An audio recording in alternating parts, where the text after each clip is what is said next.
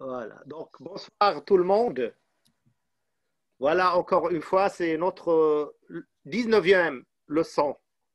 Et toujours en continue avec euh, un peu d'élan.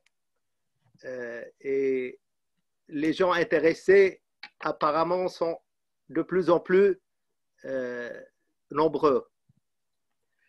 Aujourd'hui, personnellement, moi, je vais terminer l'épisode qu'on a commencé sur Saint-Charbel avec euh, son silence et l'interprétation de ce silence au niveau du yoga. Et puis, euh, le sujet que va nous faire nous initier à la méditation, c'est le balayage des yeux et nettoyage des sensations problématiques. Donc, en arabe, السلام عليكم ورحمة الله وبركاته. سلام إلى الجميع. ونبدأ هذا الدرس رقم 19 اليوم. ومن حسن حظنا وأن المهتمين يتزايدون وبقي وعندنا أقله جمهور منتظم في المتابعة. وهذا ما يشجع للمضي قدما في مجموعة الدروس هذه. وهذا اليوم سأتناول الحلقة الأخيرة من صمت القديس شربل ومعانيه وكيف يمكن أن نحلله في اليوغا وفي التصوف الإسلامي لا سيما. ثم أعطي الكلام للبروفيسور جاكفين الذي سيقود تأملا عن بلياج ديزيو يعني حركات العينين وتأثيرها. من خلال أنظمة اليوغا كنس Donc je commence d'abord, la dernière épisode c'est un peu comparative entre quelques pouvoirs et quelques anecdotes et le sens du silence de Charbel et de sa véracité, satya, as-sidq en arabe on appelle ça. Et le miracle le plus connu et le plus célèbre de Charbel, c'est quand il a allumé une lampe, ou sa lampe plutôt, d'huile avec de l'eau. Je vais raconter ça euh, en un peu de temps et puis raconter une anecdote euh, semblable dans le soufisme islamique et ensuite essayer d'interpréter ça au niveau du Yoga Sutra de Patanjali. Comme j'ai dit, c'est le miracle le plus célèbre, même le symbole de Charbel, c'est pris de ce miracle, la lampe d'huile. Là, on voit, c'est la lampe, et là, c'est son nom en, en, arabe, en alphabet arabe. De quoi il s'agit dans cette histoire? Eh bien, c'est le serviteur qui était acteur dans cet événement qui a raconté ça. Il s'appelle Sab al C'était le serviteur du couvent. Et un jour, le supérieur, le prieur du, couvent, a donné ordre à tous les moines d'éteindre la lumière dans leurs cellules, vous savez que normalement c'est à 9 heures, ils entrent dans leurs cellules, d'éteindre directement la lumière dans leurs cellules pour économiser de l'huile vu qu'il n'y en avait pas assez. Charbel n'était pas là, le père Charbel, donc il n'était pas au courant. Il est allé chez le responsable demander de l'huile. Le responsable ne lui a pas donné sans quand même lui expliquer de quoi il s'agit. Et c'est là que le serviteur, Sab al est venu dans l'intention de jouer un tour sur Père Charbel. Tellement le Père Charbel, un saint homme, mais on le prenait pour un quelqu'un de naïf. Il ne l'était pas, mais tellement il était silencieux et obéissant que même il était obéissant au serviteur donc euh, du couvent qu'on le prenait pour un naïf. Il a voulu lui jouer un tour Et il lui a demandé cette lampe en disant que voilà, moi je te la remplis, ne vous inquiétez pas, Abu Nasharbel. Il a pris la lampe et il l'a remplie de l'eau. Et voilà, il, lui, il le donne à, au père Sherbel en disant voilà, vous pouvez vous en servir. Le père Sherbel, qu'est-ce qu'il fait? La soirée C'est essentiellement pour lire les écritures et les vies des saints, ce qu'on appelle Sanksar. Il a pris la lampe et il l'a allumée, elle s'est allumée.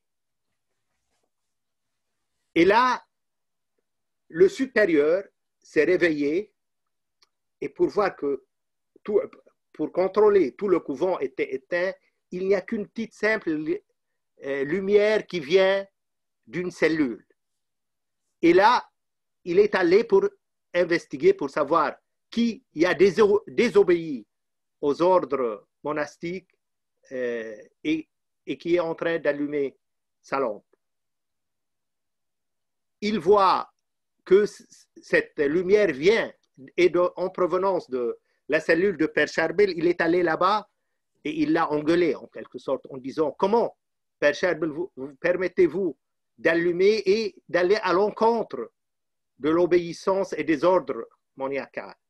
Et là, le père Sherbel s'est prosterné devant lui en lui disant Pardonnez-moi, je ne savais pas.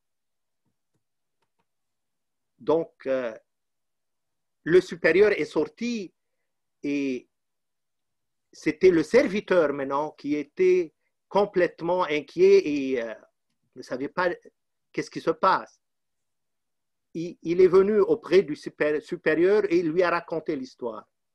Il lui a dit, c'est moi qui ai pris la lampe du père Charbel et, je l'ai remplie en fait de l'eau et non pas d'huile. Et voilà, elle est, elle est toujours allumée. Le, le supérieur qui n'a pas cru, qui n'a pas cru ses oreilles est allé pour vérifier. Donc, il a pris la lampe, il l'a ouvert et même il a touché, il a vu, il a même goûté et il s'est, il, s'est avéré il est, que c'est de l'eau et c'est pas de l'huile. Et à ce moment, il s'est lui-même prosterné devant le Père Charbel en lui demandant le pardon.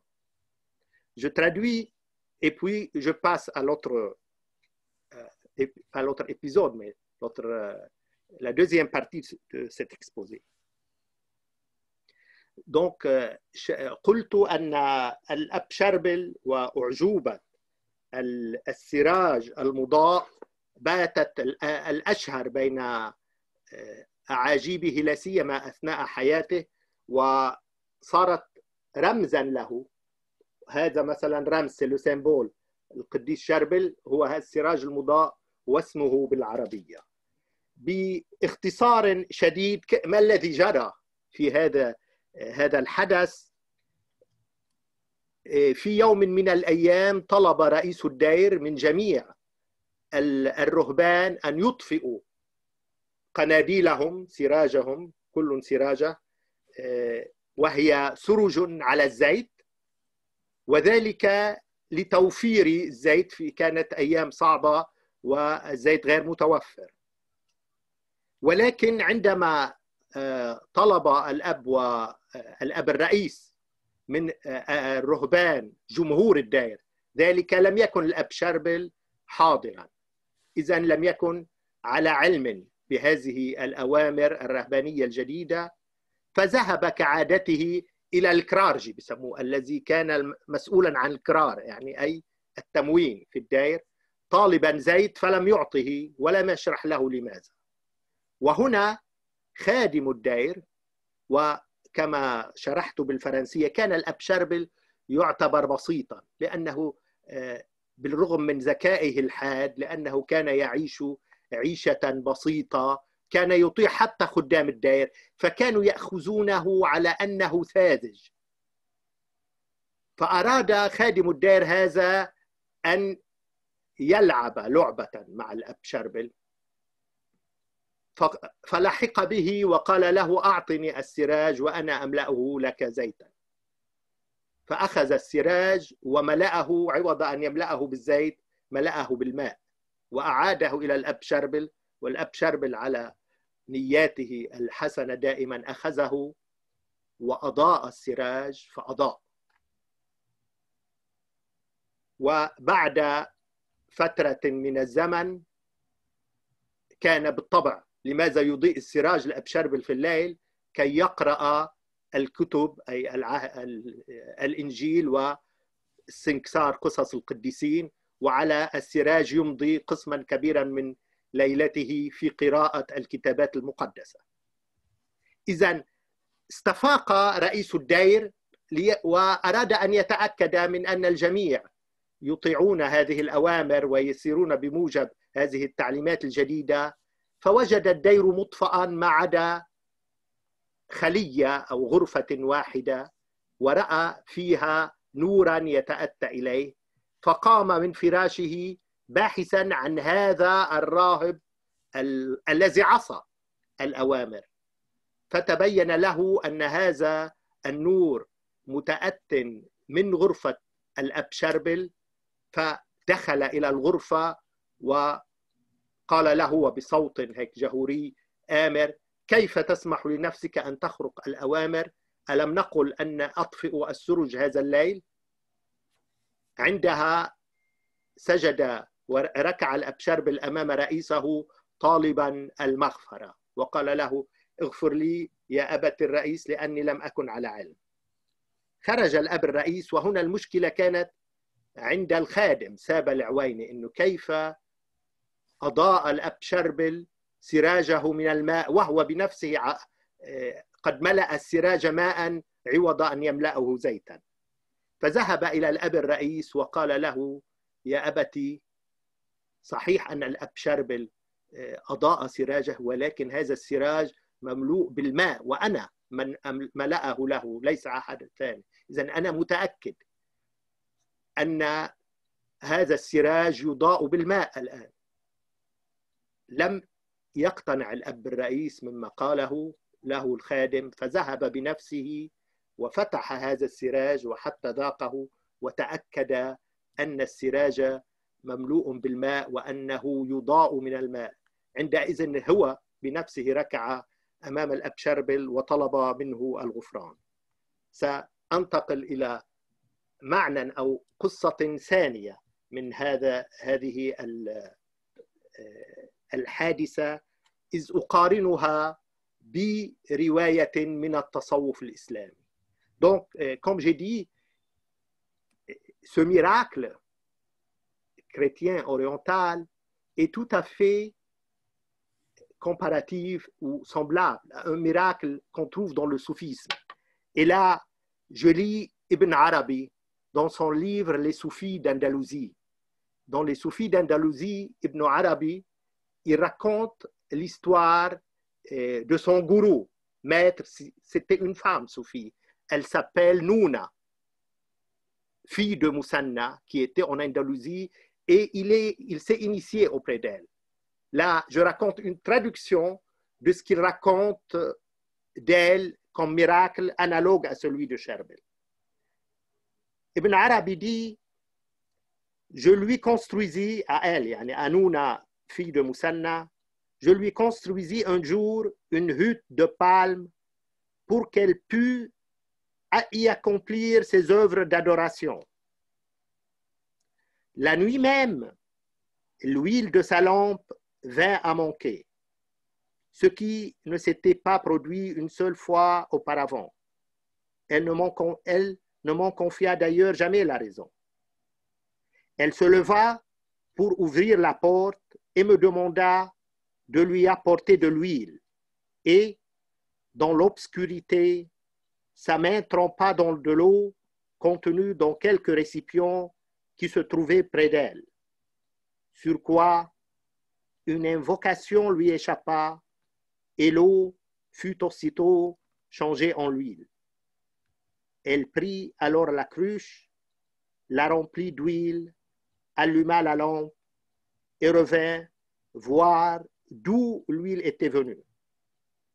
Quand elle s'est aperçue qu'il n'y avait plus aucune trace d'huile, elle comprit que cela avait été un don d'Allah. Là, je lis eh, le texte d'Ibn Arabi original donc قلت أن هذه الأعجوبة لشربل تماثل أعجوبة في التصوف الإسلامي سبقتها بستة قرون. يرويها لنا ابن عربي المتصوف الشهير في كتابه متصوفة الأندلس. وهو في هذا الكتاب يتحدث عن معلميه الذين على يدهم تعلم التصوف ونال الخرقة الصوفية. ومن بينهم واحدة من أبرز معلميه اسمها نونة فاطمة بنت المثنى. سأروي ما قاله باختصار عن واحدة من أعاجيبها وأبرزها وكانت كيف أضاءت سراجها سراجها الذي هو سراج زيت بالماء. يروي ابن عربي بنيت لها يوما كوخا من نخيل لتقيم فيه صلواتها. وفي ليلة وفي ليلة ذاك النهار نقص في سراجها الزيت. ما لم يحدث مرة في السابق فنهض فنهضت لتفتح الباب وتطلب مني أن أحضر لها الزيت. وفي الظلمة غطست يدها في ماء كان في وعاء بالقرب منها. فأفلت من فمها دعاء حول الماء إلى زيت. فأخذت السراج وملأته بالزيت المتحول هذا وأضاءته. وعندما عادت لتعاين من أين أتى هذا الزيت لم تجد أي أثر للزيت. فأدركت أن ذلك كان بموهبة إلهية.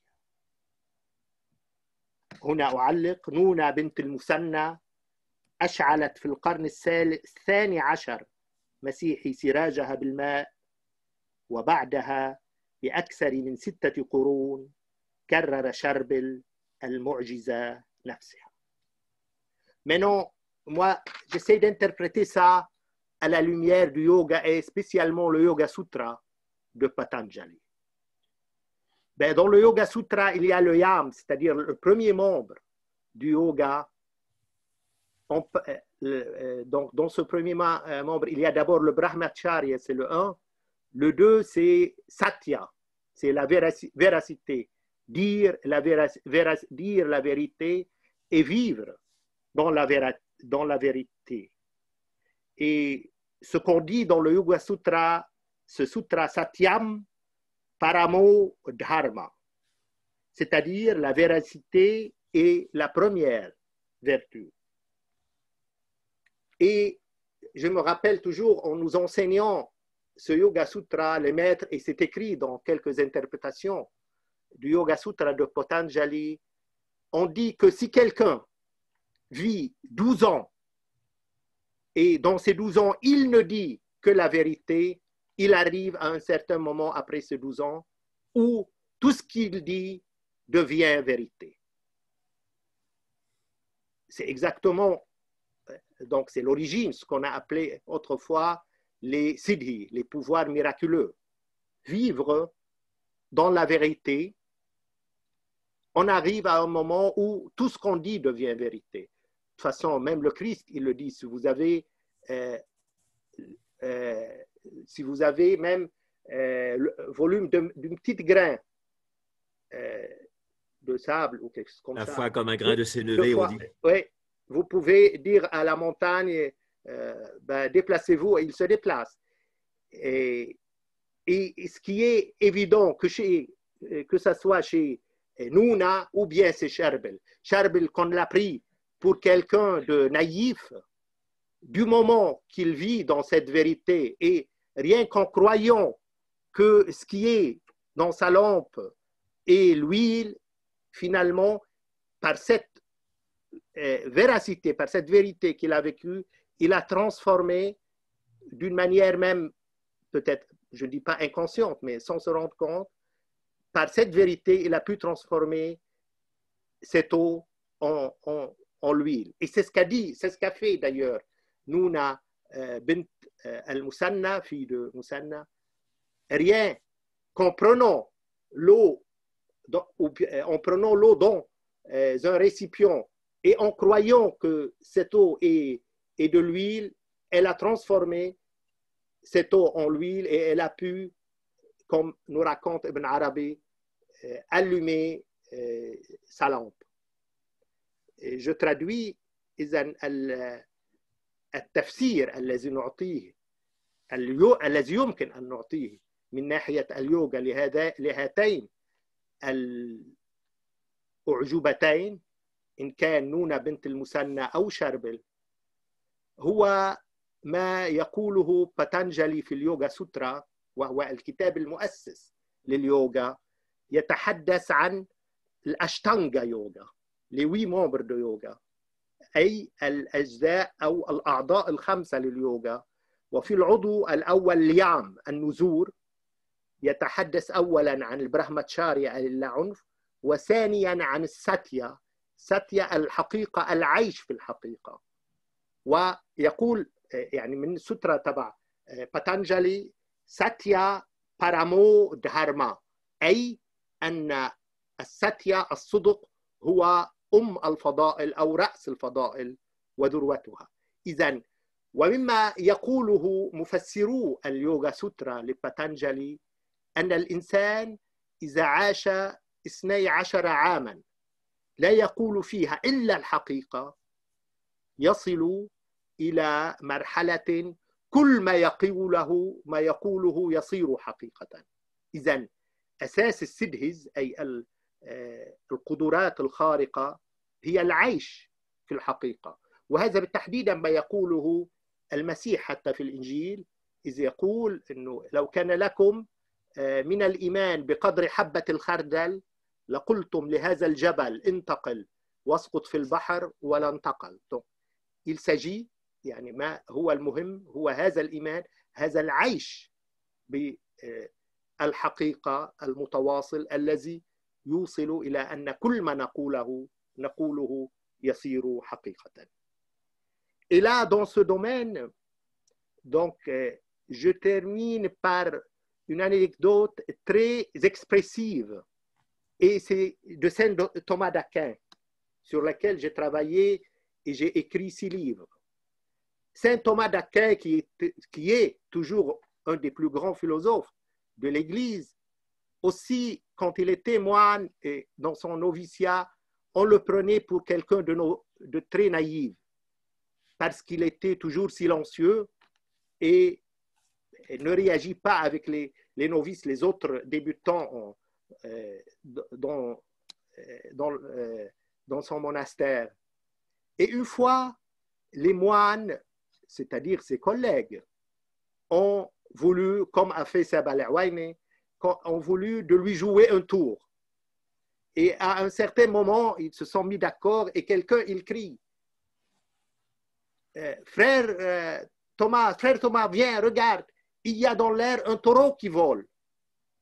Et voilà, Thomas, il est venu euh, voir de la fenêtre et à ce moment, tous les moines, une vingtaine, se sont mis à rigoler. Regardez qu'est-ce que c'est et quel, quel, homme naïf, quel moine naïf. Non? Il a cru ce qui, euh, ce qui a été raconté. Et là, Saint Thomas d'Aquin lui a, leur a dit, je ne suis pas aussi naïf pour croire qu'un taureau puisse voler, mais il m'est beaucoup plus facile de croire qu'un taureau puisse voler que de croire qu'un moine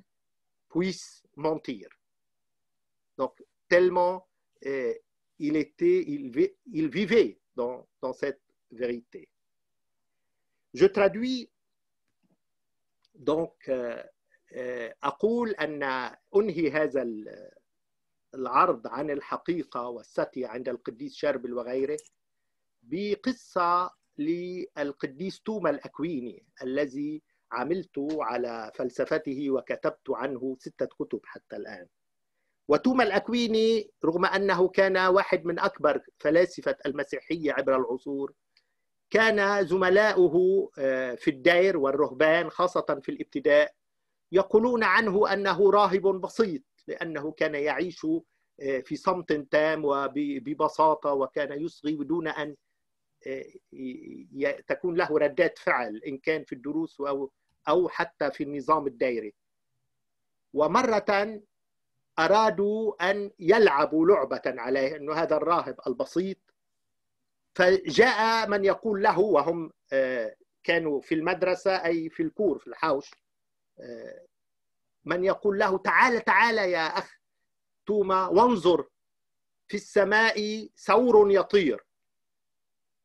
وكل البقية إذا لعبوا هذا اللعبة لكي يوحوا له أو يوهموه. فجاء الأخ توما ونظر من النافذة وعندها قهقه الجميع وبدأوا يطلقون صيحاتهم وضحكاتهم الكبرى قائلين انظروا كم هو رجل بسيط ساذج ويعتقد عندها قال لهم الأخ توما لست ساذجا لدرجة أنني أعتقد أن الثور يمكن أن يطير ولكنه أسهل وأهون علي أن أعتقد أن ثورا يمكن له أن يطير من أن أصدق أن راهبا يمكن له أن يكذب. Et la dernière de ce que je vais raconter sur Charbel pour euh, terminer, c'est quand j'étais dans l'ashram de Shivananda à Rishikesh, on l'appelle même Shivananda Nagar, c'est une ville, c'est pas un petit ashram, c'est un ensemble, un complexe d'une vingtaine de bâtiments et vraiment c'est très grand. Et dans ce, euh, ce grand ashram, ce grand complexe, il y a l'endroit le plus sacré, c'est un temple, il y en a plusieurs, mais celui-là c'est le plus sacré. C'est un temple là où, depuis qu'il a été fondé, ce temple, euh, on répète toujours un mantra sans interruption, c'est-à-dire 24 heures sur 24 heures, il y a le Mahamantra qui est répété. Donc, et il est considéré comme l'endroit le plus saint de l'ashram. Et dans cet endroit, en le visitant, j'ai vu cette icône de Saint Charbel. Ce qui m'a énormément étonné, Saint Charbel, qui est plutôt un saint libanais, pas très connu mondialement, et je vois une icône avec aussi dans cette icône une partie, ce qu'on appelle trire en arabe, c'est-à-dire euh, un, petit morceau euh, des habits de, de, de, euh, de la soutane du père Charbel.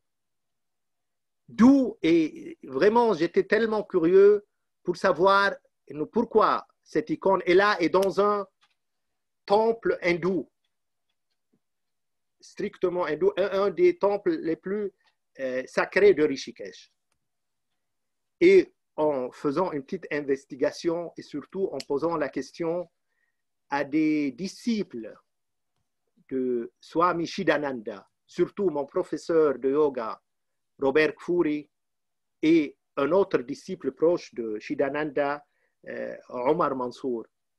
Et comme ça, j'ai su comment ça a été fait. Shidananda, qui était le président de Divine Life Society, un des grands saints et sages de l'Inde du XXe siècle, était donc chaque fois qu'il venait au Liban, et il a visité le Liban au moins dix fois, il demandait toujours à visiter le mausolée et l'ermitage de Saint-Charbel. Et on m'a dit qu'il était, sans même lire sur ce saint, sur ce saint, il était tellement impressionné par le silence de ce saint et par l'atmosphère de, de son ermitage qu'il a pris cette icône, une grande icône même avec le, vitre, tout ça, et il l'a il l'a amené en avion avec lui en Inde pour la mettre dans ce, cet endroit sacré. Je peux dire essentiellement peut-être dans les religions monothéistes, on a perdu un petit peu cette tradition que je vais expliquer à la fin. Là, je, je traduis. إذا قلت أنني كنت يوما في أشرم شيداناندا وهو أشرم يعني أشرم مدينة شيفاناندا ناجار نسميها عادة بالهندية أي مدينة شيفاناندا على ريشيكش مجموعة من المباني أكثر من يمكن 20 مبنى وفي المكان الأكثر قداسة الأشرم لهذا المعبد لهذا الأشرم زرته وهو معبد مذ بني في الخمسينات من القرن الماضي ولا تزال الصلوات متواصلة أي تلاوة بيسموها المها منترا متواصلة 24 ساعة على 24 لا تنقطع نهائيا في ساعة واحدة لأقول كم هو مقدس هذا المكان. فوجدت هذه الأيقونة.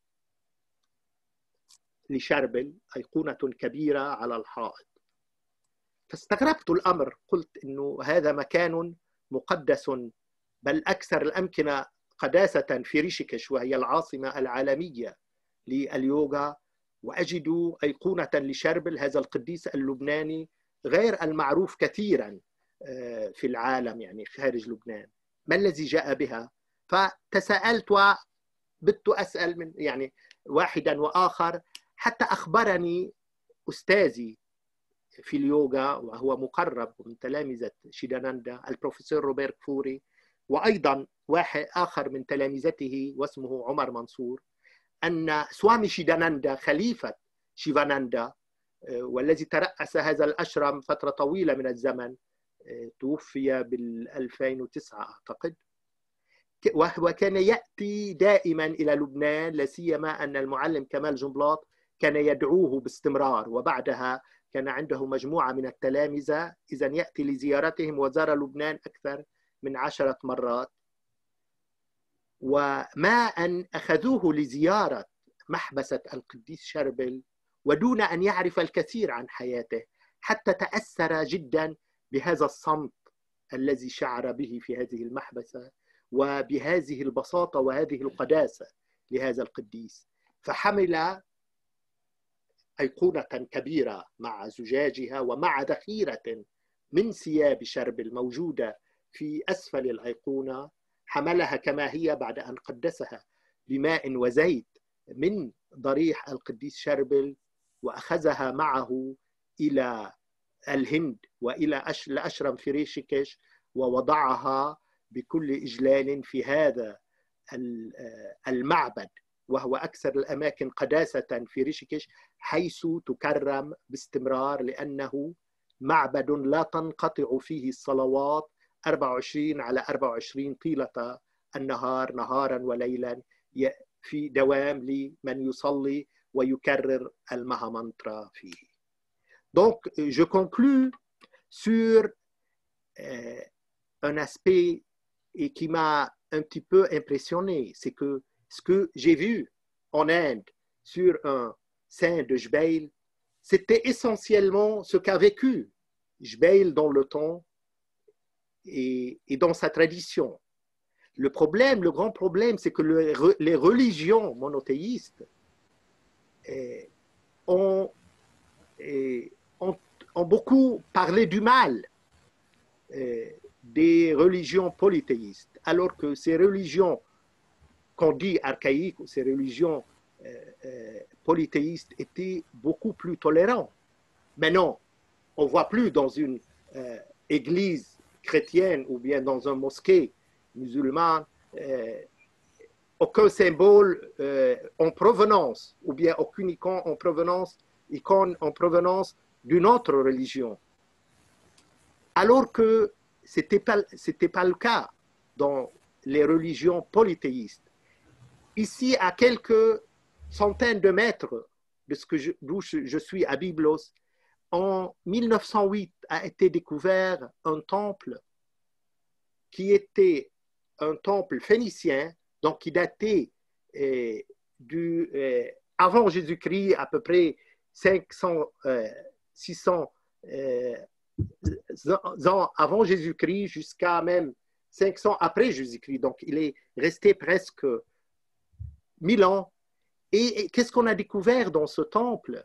On a découvert des idoles phéniciennes et des idoles grecques et des idoles aussi romains. Et on a découvert des présents, des présents en provenance de l'Égypte, d'autres présents en provenance de, la Mésopotamie, dans ce même temple. Et qu'est-ce qui se passait? Ben, Tout simplement, ce qui se passait, c'est que quand un conquérant, venant comme les Grecs, c'est-à-dire Alexandre et après euh, les successeurs d'Alexandre, ben, les Phéniciens euh, leur disaient ben, pas de problème, amenez vos idoles dans notre euh, temple et on va adorer en même temps vos dieux et nos dieux. Et quand les Romains aussi sont venus comme conquérants, la même chose, ils ont amené leurs idoles et tout le monde adorait tous les dieux. Il n'y avait pas cette distinction ni cet aspect assez, eh, disons, tranchant entre les religions. Et il n'y avait pas de guerre de religion. Et je termine. On a beaucoup dit de mauvaises choses sur les religions polythéistes, alors que dans mes recherches, moi, il y a un de, ces livres où j'ai parlé, même les religions monothéistes, ils vantent d'avoir de, ce monothéisme. On l'appelle en arabe at-tawhid. Et qu'est-ce que c'est at-tawhid? C'est-à-dire unifié. Et moi, j'ai étudié, par exemple, Allah. Qu'est-ce que c'est Allah? Comme dit René Dussault, un, un grand euh, archéologue français qui a étudié euh, euh, ce sujet dans le euh, dans le XXe siècle, il a écrit à peu près 1920, ben, il a dit ben, Allah, c'était un des dieux, surtout des Safawides, qui a été importé jusqu'à l'Arabie. Donc, c'était un des dieux qui sont en Arabie. Et puis, Tawhid, c'est-à-dire on a unifié tous ces dieux et un seul qui, qui, a pris en quelque sorte la présidence, la royauté de ce, euh, de ce panthéon et il a exterminé les autres dieux. Moi, je dis, euh, je n'aime pas trop répéter parce que les gens ils sont un peu choqués et les musulmans n'aiment pas ça. C'est quoi souvent le monothéisme tel qu'il est vécu dans nos religions? C'est la dictature d'un seul Dieu. C'est le ce Dieu qui a exterminé les autres et il est en quelque sorte euh, devenu un dictateur. Voilà, je termine avec une traduction brève. إذا قلت أن ما شاهدته في ريشيكيش كان أساسا ما عش عشته هنا في جبيل تاريخيا في هذا التقليد نحن على بضعة أمتار من معبد اكتشف تقريبا 1908 في جبيل يعني قرب القلعة. وفي هذا المعبد التي استمرت العبادة فيه تقريبا نحو ألف سنة وجدوا وهذا ما فاجأ بداية العلماء الأثار آلهة ونصب فينيقية وكذلك نصب إغريقية يونانية ورومانية وأيضا بعض النصب من الفراعنة ومن بلاد الرافدين. وما كان يحدث ببساطة على ما يبدو أنه عندما كان يأتي أي فاتح جديد كان الفينيقيون يقولون لهم ما من مشكلة ائتنا بأنصابك أو بآلهتك نضعها في هذا المعبد ونعبدها مع آلهتنا.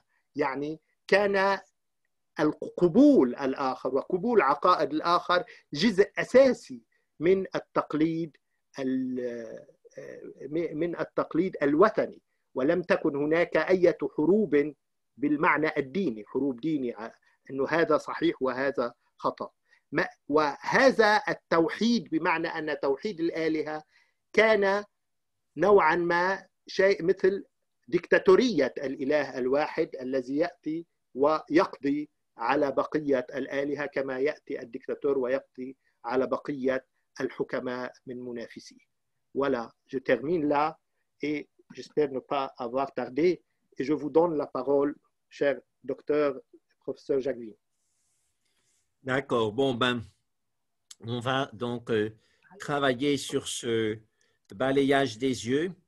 إذا Et donc, سنعمل euh, الآن على البلياج يعني كنس ال- العينين Et donc, euh, il faut comprendre que c'est au fait une pratique ancienne وما يجب أن تفهموه هي أنها ممارسة قديمة Et donc, euh, cette euh, pratique ancienne, et c'est euh, dans la danse indienne. وهذه الممارسة القديمة هي في الأساس في الرقص الهندي Dans la danse indienne, donc, ils ont la consigne de regarder leurs mains qui jouent des histoires, qui miment إذا histoires. في الرقص الهندي مثلا آه، ينظرون إلى أيديهم ويلعبون بعض الألعاب في هذا وإذا يبدلون النظرات Et donc, euh, les yeux vont très rapidement de gauche à droite. وهكذا آه، آه، عين عيني ال- الراقص آه، تذهب وبسرعة تنتقل من اليمين إلى اليسار وبالعكس. Ça induit chez le danseur un- une perte de l'équilibre آه، ما يسبب آه، نوعا من اختلال في التوازن عند الراقص. Et de cette perte de l'équilibre, euh, il y a un lâcher-prise profond qui vient. ومن آه، هذا الاختلال فقدان التوازن آه، يصير نوع من ال- الاستسلام التلقائي. Et donc, euh, de ce lâcher-prise euh, complet, il y a euh, l'ego du danseur qui s'en va. إذا ومن هذا الاستسلام التلقائي هنا الإيجو الأنا للراقص يخف ويتلاشى Et du coup, il devient un vrai canal du divin. وعندها يصير وكأنه قناة مباشرة عبرها آه، يأتي أو آه، ينتقل الإلهي أو الروح الإلهية Parce que d'habitude, l'acteur et l'actrice jouent le rôle des dieux et des déesses.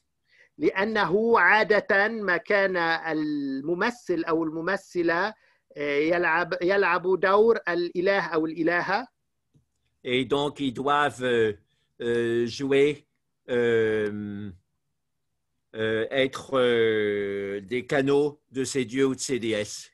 أي أن دور الممثل أو الممثلة كقناة لها تجسد بالنهاية هذا الإله أو الإلهة Et donc, euh, c'est important de comprendre ce lien. مهم جدا إذا أن نفهم هذا الرابط Et de manière plus générale, dans l'animisme, on utilise beaucoup les mouvements de tête pour entrer en transe. إذا وفي الممارسات الأرواحية يستخدمون كثيرا آه، حركة ال- الرأس للدخول آه، في نوع من بسموه بالتصوف التواجد Dans le soufisme aussi, dans l'hindouisme populaire aussi. وكذلك في التصوف وفي الهندوسية الشعبية Et le mécanisme de base est le même, euh, perte de l'équilibre. والآلية هي عينها أي فقدان التوازن qui mène à un lâcher prise et qui mène à une libération. ما يس... يعني يوصل إلى استسلام وبالتالي تحرر من القيود ومن المحدوديات Et donc, euh, euh, il y a aussi un phénomène supplémentaire au niveau euh, neurosciences إذا هناك أيضا آه، ظاهرة آه، استكمالية إضافية على مستوى علم الأعصاب Quand on met ce mouvement de la tête, euh, il y a le cerveau qui flotte dans le liquide céphalorachidien qui va buter contre le crâne. إذا آه، آه، عند هذا يعني يكون الدماغ يطفو على السائل ال- الموجود في الدماغ وما يسبب آه، آه، ظاهرة معينة كبرى في الرأس Et comme euh, c'est le cortex qui est à la surface du cerveau, il va buter contre le cos- l'os du crâne et ça fait une stimulation électrique. Oh là là, c'est difficile. attends. à traduire. Ça fait bing. Non, Et bing, surtout ça quand fait un c'est- éclair. Toute ces- cette terminologie. النخاع الصوتي de- Hein? C'est النخاع Et donc, eh, c'est la, Moi, هي je- القسم الأكبر من الرأس. Et, et qu'est-ce que tu as dit, Jacques? Tu reprends un Oui, peu? donc il y a la surface du cerveau qui va cogner contre l'os et ça إذن، fait une décharge آه، électrique. petit à petit, petit à- euh, deux Oui. mots par deux mots. إذا آه، المساحة العليا من ال- الدماغ تلتصق بالعظم Oui, et ça fait donc une, dé- une décharge électrique. ما يسبب آه، تيارا آه، كهربائيا معينا في الدماغ et probablement donc une, une vision de lumière. وغالبا ما تكون ايضا رؤيه لنور ما Et ces visions de lumière aident à se décharger des souvenirs traumatiques. والرؤيه النور هذه تساعد على التخلص من آه، ذكريات صدميه عديده Voilà, et donc, pour terminer, cette impression de perte d'équilibre, de tomber dans le vide que donne le balayage des yeux, on le retrouve dans le bouddhisme. اذا وأيضا آه، هذا الشعور بالوقوع في الفراغ الذي تسببه حركه العينين نجده ايضا اياه في البوذيه Et donc, euh, surtout dans le bouddhisme Mahayana, la seconde vague du bouddhisme, la إذن méditation sur ولا le سيما vide في est بوذية importante. المهايانا وهي الب- البوذي ال- آه، التيار الثاني من البوذية Donc, euh, et euh, donc, euh, quand on fait bien ces méditations, on a réellement l'impression de tomber dans le vide. إذا عندما نمارس آه، هذه التأملات نشعر وكأننا نسقط في الفراغ On est proche de euh, l'effet de l'EMDR avec le balayage des yeux. و- وهو مفعول آه، أيضا قريب من آه، مفعول هذه الممارسة ال MDR في ال- أي آه، كنس أو آه، حركة العينين في علم النفس السيكولوجيا Et dans le, euh, dans le vocabulaire, l'absolu pour le bouddhisme euh, Mahayana, ça s'appelle shunyata, c'est-à-dire la vacuité. إذا وفي المصطلح إذا يسمونه ال- آه، في البوذية شنيتا أي الفراغ الكامل Voilà, maintenant on va commencer la pratique. والآن سنباشر بممارسة هذا التأمل Vous pouvez vous allonger en position de l'empereur. يمكنكم أن تتمددوا في وضعية الإمبراطور Euh, ben, il il me demande est-ce qu'il peut faire ça tout en restant euh, assis Oui, s'ils veulent, oui, oui. Euh, oui, oui, pas de إذا problème. ومن يشاء يمكن أن يبقى جالسا لا يعني ليس إلزاميا ال- أن يتمدد Et pour se relever aussi, vous sentez, hein, au début on se relaxe, mais si vous sentez que vous vous endormez, à ce moment-là, c'est mieux de se rasseoir. إذا وملاحظة مهمة جدا لمن يتمدد إذا شعر وكأنه يغفو فعليه عندها أن يعاود الجلوس Donc, vous qui pouvez ليس savoir. المطلوب أن نغفو ولكن أن نتأمل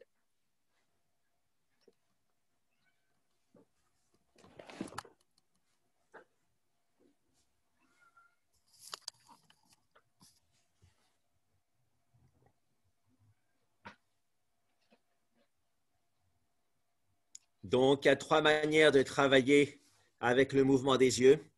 هناك إذا طرق ثلاثة للعمل على آه، حركة العينين Soit on cherche une relaxation générale, إما أن نبحث عن استرخاء كامل soit une tension, la relaxation d'une tension particulière, souvent liée à une émotion particulière, أو أن آه، نرخي آه، تشنجا معين مر- يرتبط بمكان أو حدث معين ou alors on travaille directement sur une image problématique.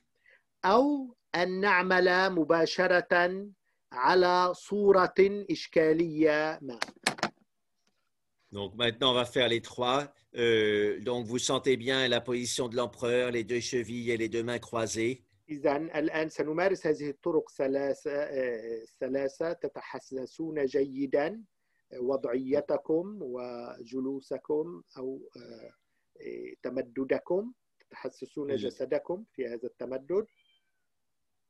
Voilà, donc les deux mains sont croisées sur le varin, puis en dessous du nombril. اليدين إذا مضمومتين هكذا وتوضعان على الهارة التي هي Et on sent comme si les jambes étaient supportées par une grande rose de lumière.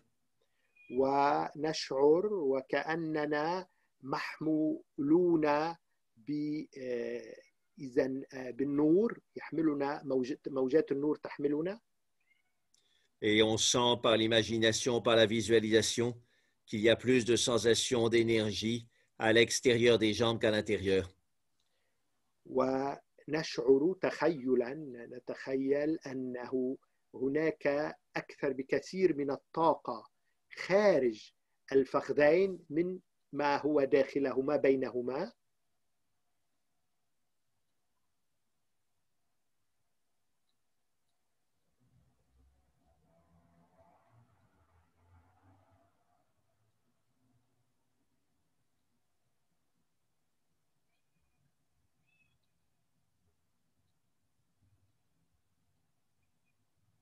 Maintenant, d'emblée, on peut combiner le- les mouvements des yeux avec les battements de cœur et la respiration. C'est beaucoup plus efficace. إذا يمكن أن نزامن بين حركة ومن المفضل بين حركة العينين مع آه، حركتين أخريين وهما التنفس ونبضات القلب Et d'emblée, on peut faire ça de façon équilibrée, c'est-à-dire en faisant des séries. إذا ويمكن أن نقوم بذلك بطريقة متوازنة أي من خلال آه، سلاسل سري سل- سل- سلاسل معينة Donc, on regarde par exemple sur la gauche sur l'inspire et vers la droite sur l'expire.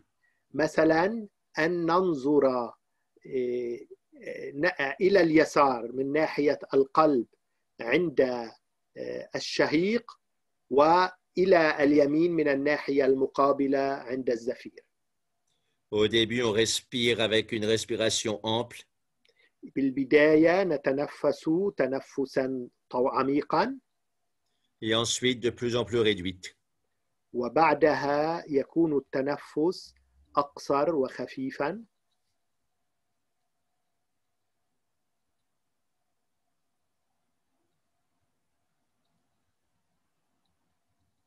Et plus on réduit la respiration, plus on se focalise sur le troisième œil, le centre du front. إذا وكلما خففنا من سرعة التنفس نركز على آه، وسط الجبين Donc on voit le point de lumière qui zigzague en faisant dans une amplitude de plus en plus petite, comme une pyramide dont la pointe serait au milieu du front Et la base entre les sourcils. نرى نقطة هذه النقطة النورانية وكأنها هرم عند وسط الجبين وعلى أيضا قاعدة الجفنين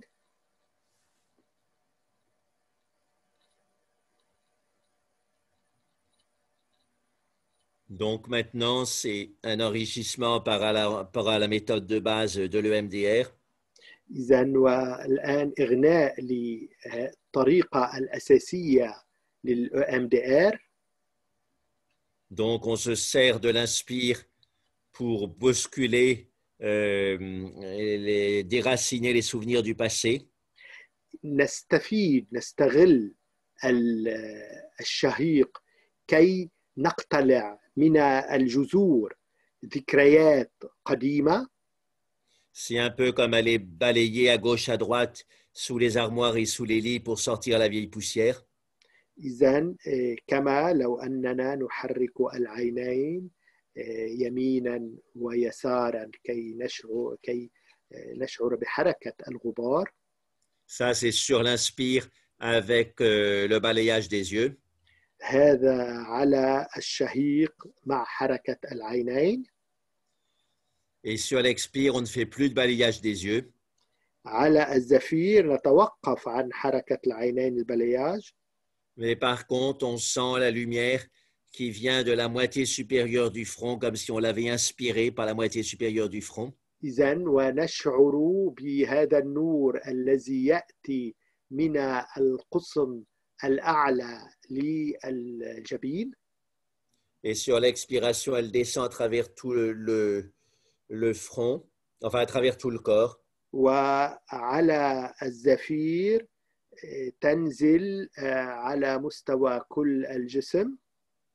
Et elle détend tous les blocages et tous les barrages du corps et de l'esprit.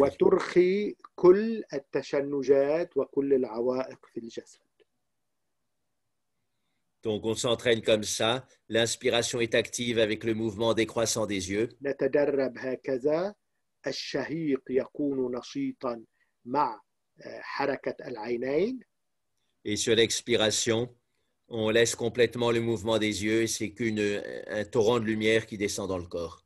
وعلى الزفير نوقف حركة العينين وكأنها ساقية مجرى من المياه من النور يسقط في كل الجسد on s'entraîne sur une série de cycles comme ça. إذا نتدرب على سلسلة من الحلقات في هذا ال- على هذا النمط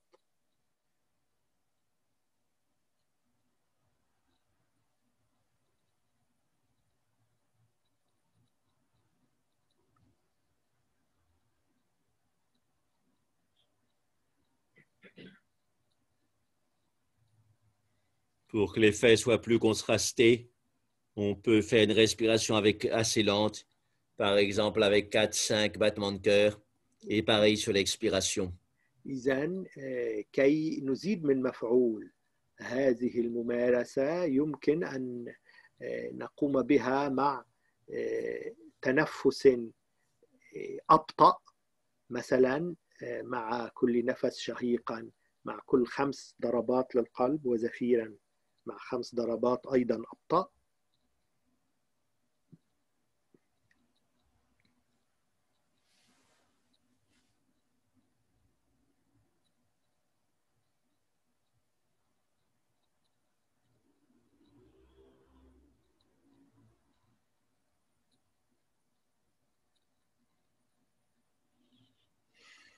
Maintenant, ce qui aide bien en méditation, c'est d'accompagner l'exercice concret qu'on fait de- d'une petite parole qui décrit ce qu'on fait. إذا آه، الآن ما يساعد في هذا التأمل أن آه، نقرنه بجملة آه، قصيرة تصف ما نفعل Donc, les souvenirs post-traumatiques ou les pensées obsessionnelles, c'est basé sur la répétition. إذا ال- الذكريات القديمة وأيضا ال- الصور التي هي صدمية أو ما بعد الصدمة تستند كلها على التكرار.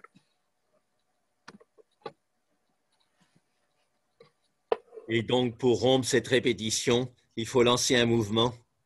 إذا كي نقطع مع هذا التكرار يجب أن نطلق حركة أخرى موازية Et donc, ce mouvement, c'est le mouvement des yeux. وهذه الحركة هي حركة العينين. On souffre d'idées fixes. إذا نحن نتعذب نتألم من آه، فكرة ثابتة معينة. Et on cesse d'avoir ces idées fixes. en euh, défixant le regard, en le faisant bouger. وإذ- ونحن آه، نكف أو نقضي على هذه الأفكار الثابتة من خلال حركة وتحريك العينين Donc, on reprend le mouvement des yeux, mais avec une petite formule. Donc, ce sera deux syllabes, environ deux battements de cœur Sur إذن l'inspire vers la gauche, deux syllabes de battement de cœur sur l'expire vers la droite. On آه، peut déjà commencer comme ça, s'entraîner Non, à ce attends, rythme attends. deux par deux.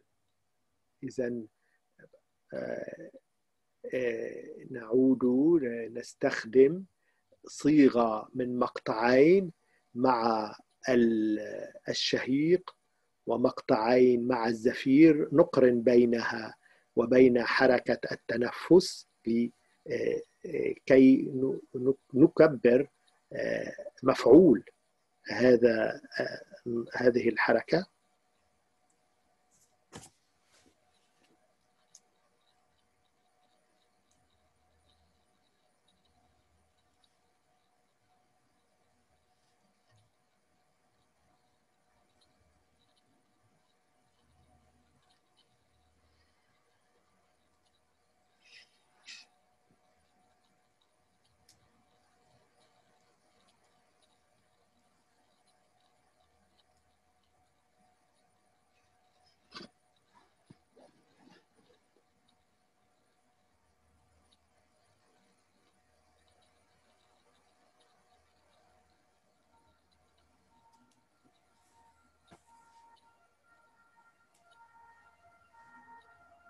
Donc, maintenant, on peut dire sur six syllabes à l'inspire, un mouvement qui bouscule, parce que c'est vraiment ça que font les yeux, donc sur l'inspire. إذا على الشهيق نقول un mouvement qui bouscule حركة Oui, oui, oui. حركة تش... إيه، تضطرب أو حركة إيه، تؤرجح أرجع Et le, sur l'expiration, c'est une lumière qui unit, إيه، ou la lumière على qui unit, pardon. une La lumière qui unit. وعلى الزفير النور الذي يوحد C'est-à-dire sur l'inspiration, la conscience monte au centre du front. يعني على الشهيق الوعي يصعد حتى وسط الجبين Et sur l'expiration, la lumière s'écoule comme d'une source, comme du soleil et dans tout le corps.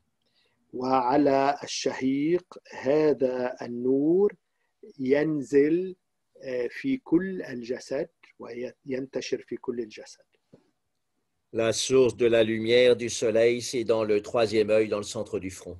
ومصدر نبع شمس هذه ال- هذا النور آه، هو في العين الثالثة في وسط الجبين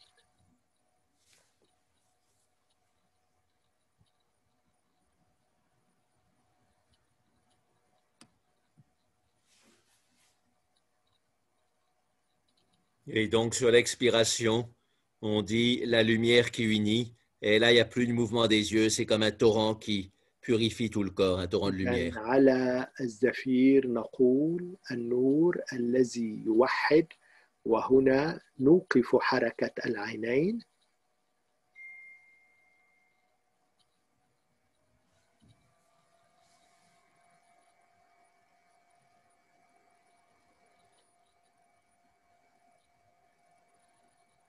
Une image qui est bien aussi à retenir la différence entre inspire et expire dans cette pratique.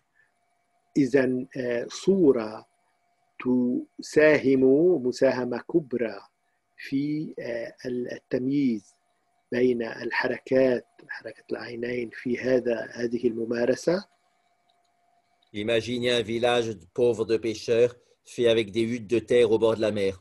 إذا أن نتخيل آه، قرية من قرية من البحارة على شاطئ البحر يعني مجموعة منهم L'inspiration avec le mouvement des yeux, c'est comme s'il y avait un tremblement de terre. ال- الشهيق مع حركة العينين كما لو أن هناك هزة أرضية Ce tremblement de terre met les huttes par terre. وهذه الهزة إذا تضع الأسماك وكل الجنى البحري على الأرض Et sur l'expiration, c'est comme s'il y avait le tsunami qui suit le tremblement de terre. وعلى الزفير كما كما لو هو تسونامي آه، يأتي مباشرة يلي آه، الهزة الأرضية et le raz-de-marée nettoie toute la terre du village et comme ça tout disparaît. إذا وهكذا فصعود البحر مع التسونامي ي- ينظف كل الأرض في آه، هذه القرية البحرية وهكذا يختفي كل شيء Et donc le mouvement sur l'inspiration, c'est aussi puissant qu'un tremblement de terre. إذا الحركة عند الشهيق قوية مثل الهزة الأرضية Et la détente, le nettoyage sur l'expiration sont aussi puissantes que euh, un, tsunami. إذا وحركة التنظيف والكناسة بعد الهزة الأرضية مع ال- الزفير قوية مثل التسونامي التسونامي الذي ينظف كل الأرض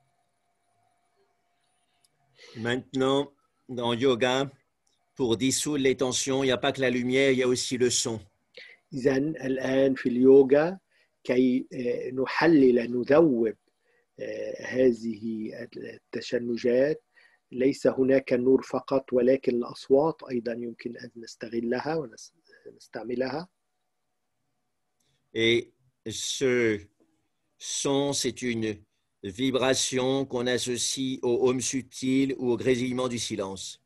إذا وهذا الصوت هو أوم آه، خفيف آه، يمكن أن نقرنه بذبذبة الصمت Imaginez une cymbale, un gong qui soit couverte de terre séchée. إذا تخيلوا جونج اللي هو مثل طبل كبير آه، و آه، عليه يعني مغطى بتراب آه، جاف Si vous donnez un coup sur le gong, ça fera tomber la terre séchée. وإذا ضربتم ضربة على هذا الطبل الكبير فكل آه، هذا التراب الناشف يسقط تلقائيا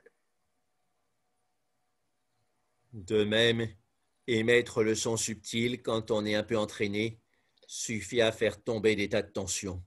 وكذلك إذا أن نطلق هذا الصوت المرهف يسقط الكثير من الضغوطات Ces tensions ne sont pas notre aide profonde, ne sont pas le gong, آه، هذه الضغوطات ليست ذاتنا العميقة elles sont simplement des enduits superficiels.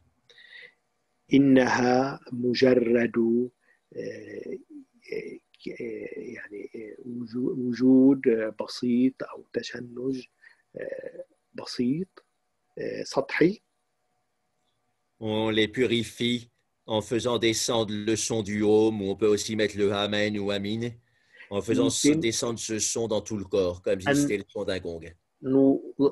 ننظفها من خلال أن نسقط صوتا مرهفا مثل الأوم ونجعله نتحسس به في كل أجزاء أجزاء جسدنا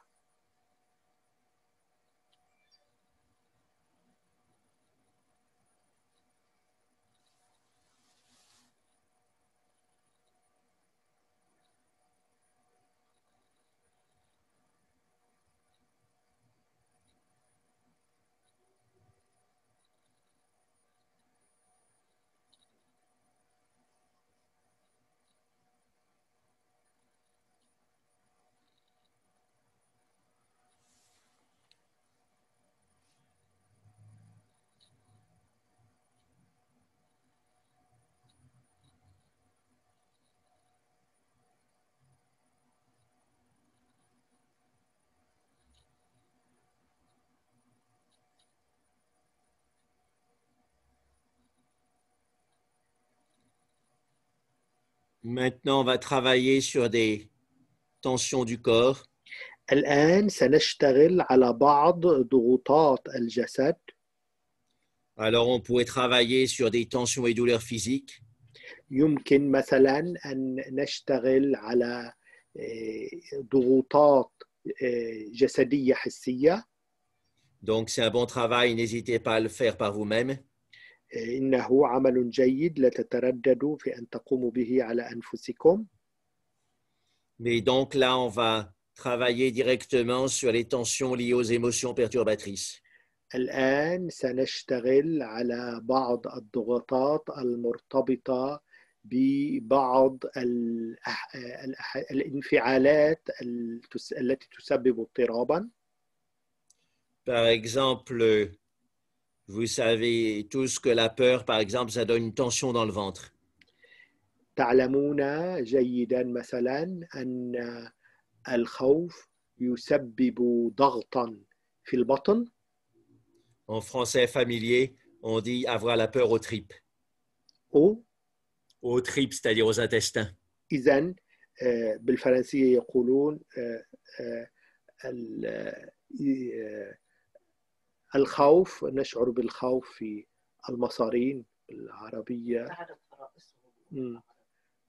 آه، بس فرائسه غير شيء آه، بالعربية يقال ارتعدت فرائسه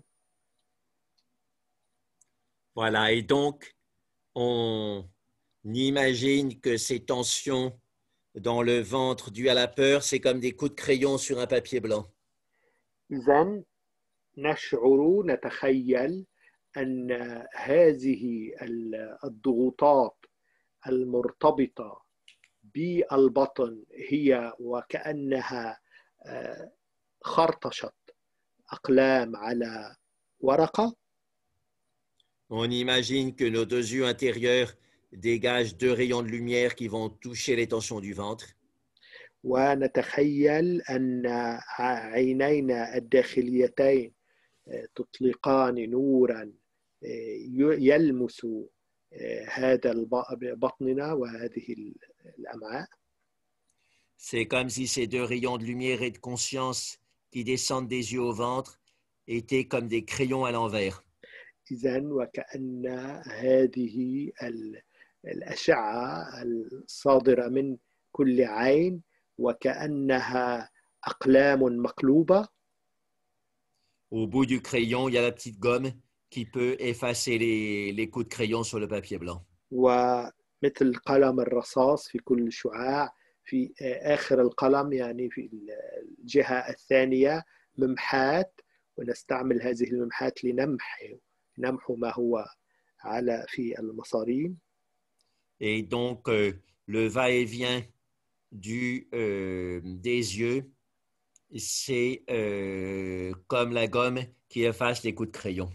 إذا حركة ال- العينين ذهابا وإيابا هي وكأنها حركة آه، محي من خلال ممحات آه، في هذا القلم نمحي الخطوط التي رسمت بالقلم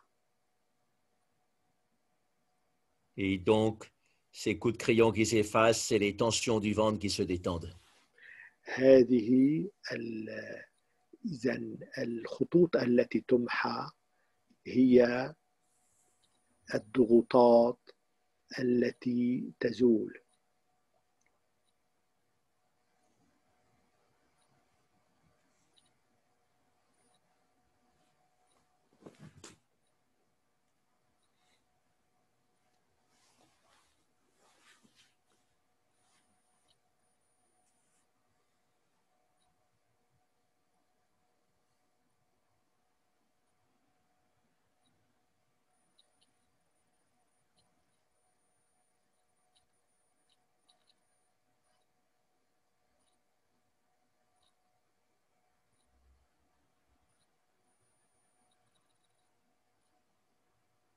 Maintenant, on prend une autre euh, émotion perturbatrice, par exemple la colère.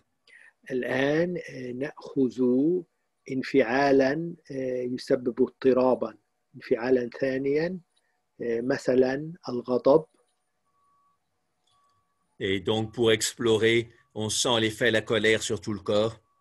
كي آه، نكتشف آه، هذا الانفعال بداية نشعر به في كل الجسد Par exemple, on sent que la colère fait se rétracter les pieds.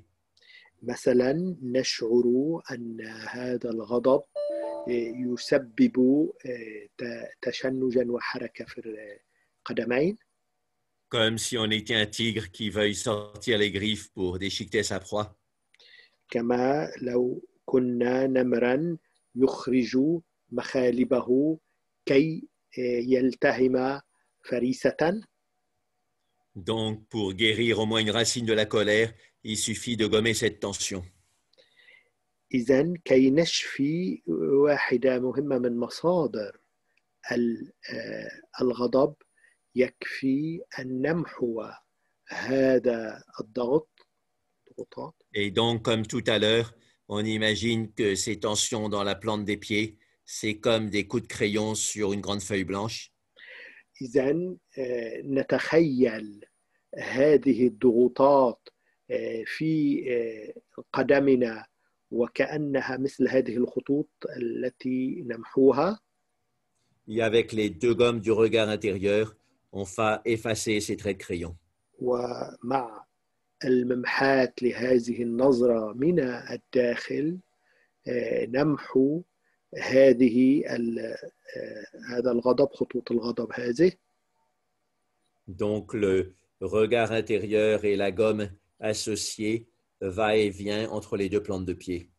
إذا النظر الداخلي آه، مع هذه الممحات في حركة الذهاب والإياب عند آه، القدمين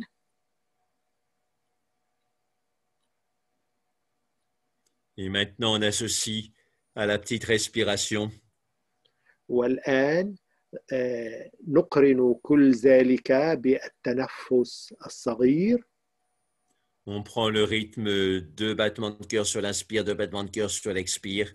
نأخذ وتيرة آه، ضربتين للقلب نبضتين على الشهيق ونبضتين على الزفير C'est le rythme du sommeil profond. إنها إنها وتيرة ال- النوم العميق Il aura une, associa- une action relaxante sur les tensions des pieds. وسيكون لها مفعولا مهدئا ع- ع- على القدمين يسكن القدمين Et en plus, donc, ça mène à une, euh,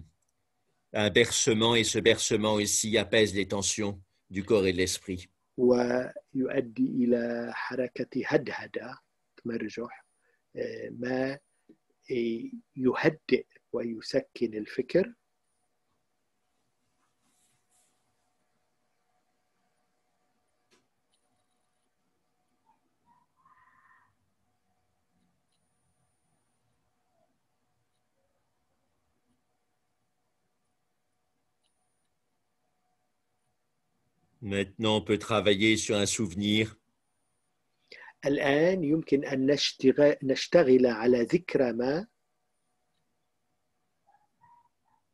Donc, il y a des souvenirs qui restent profondément enfouis.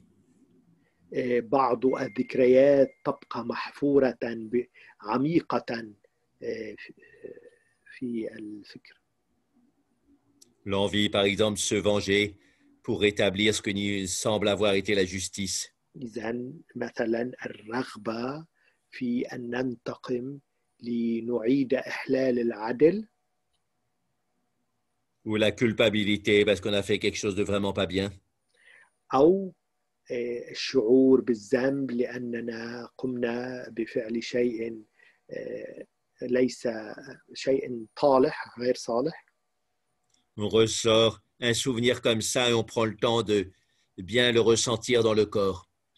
نخرج ذكرى من هذا النوع ونأخذ الوقت الكامل كي نشعر بها في كل جسمنا Par exemple, au moment même, à l'instant même où je revis ce souvenir, quelle est la part de mon corps ou quelles sont les parts de mon corps qui sont coincées, bloquées. مثلا عندما أخرج هذه الذكرى ما هي الأجزاء التي تتشنج من جسدي Quand on sent bien l'enracinement corporel du souvenir, عندما نشعر بوضوح بجذور آه، هذا ال- هذه الف- الذنب او هذه العقده بجذورها في جسدنا on coupe une à une les racines de l'arbre du souvenir نقطع واحده بعد اخرى جذور شجره الذكرى هذه الذكرى السيئه Il y a des racines un peu dans toutes les parties du corps. هناك جذور في كل اجزاء الجسم En général, il y a une zone tendue dans chaque partie du corps, une sous-zone tendue par le stress de l'émotion perturbatrice. غالبا ما يكون هناك آه، منطقة معينة من الجسم متشنجة بسبب هذه الذكرى التي تسبب اضطرابا Et par compensation, les zones autour, on ne sent rien. ومقابل ذلك للتعويض آه، في المناطق المحاذية لها لا نشعر بأي شيء Entre les sous-zones du corps, on a les mêmes effets qu'avec les neurones. إذا وبين ال- المناطق آه، المنخفضة من الجسم التي تحت المنطقة الأساسية نش يعني يكون عندنا آه، شعور آه، غريب في هذه المناطق أو شعور مختفي متلاشي De même qu'un muscle est tendu ou détendu, مثل آه، عضلة آه، متشنجة مشتدة أو مرتخية de même un neurone est polarisé ou dépolarisé. كذلك عصب إما يكون آه، فيه تشنج أو آه، يختفي منه هذا التشنج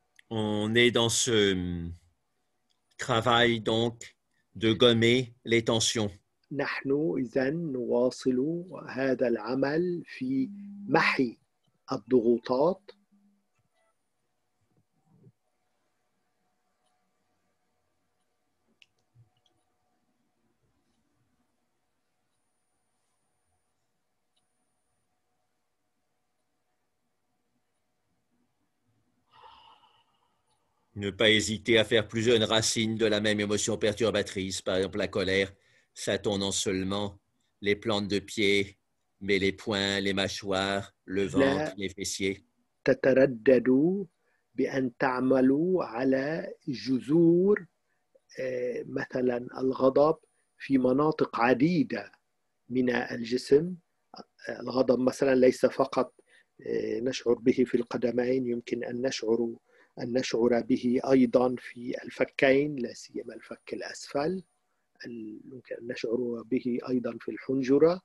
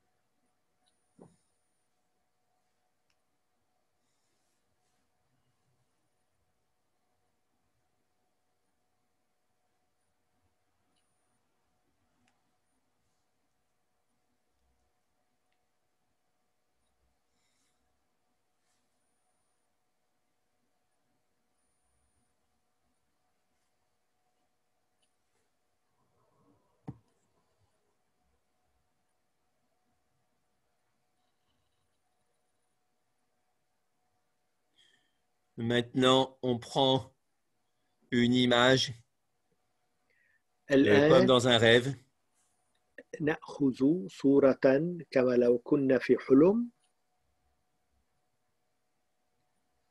et on la remplit de lumière. On ne garde que les contours comme un trait noir et sinon on la remplit de lumière et on voit tout l'extérieur de l'image du, euh, comme rempli de lumière aussi. ونملأها بالنور لا يبقى أسودا سوى خطوط الكادر وأما البقية حتى من الخارج نراها وكأنها نورانية فقط الكادر يبقى أسود Et c'est quelque chose de possible, donc euh, que l'image soit agréable ou désagréable. يمكن أن تكون هذه الصورة لطيفة محببة لنا كما يمكن أن تكون Et donc, euh, tout l'intérieur euh, de l'objet mental euh, est plein de lumière, tout l'extérieur aussi. إذا كل داخل هذه الصورة مليء بالنور وكذلك خارجها On voit donc les contours comme étant de plus en plus fins. ونرى الكادر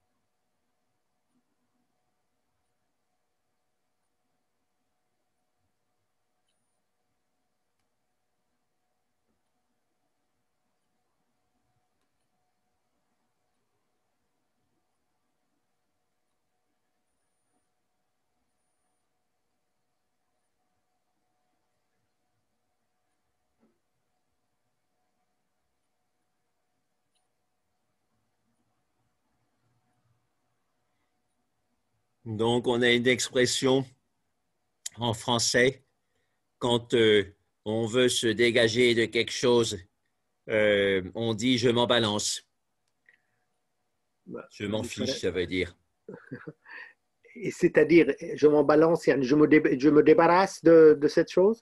Ben oui, c'est ça. On dit euh, euh, il y a ton beau-frère qui te critique et on répond je m'en balance. Oui, oui, oui, d'accord, oui. je m'en fous, c'est-à-dire.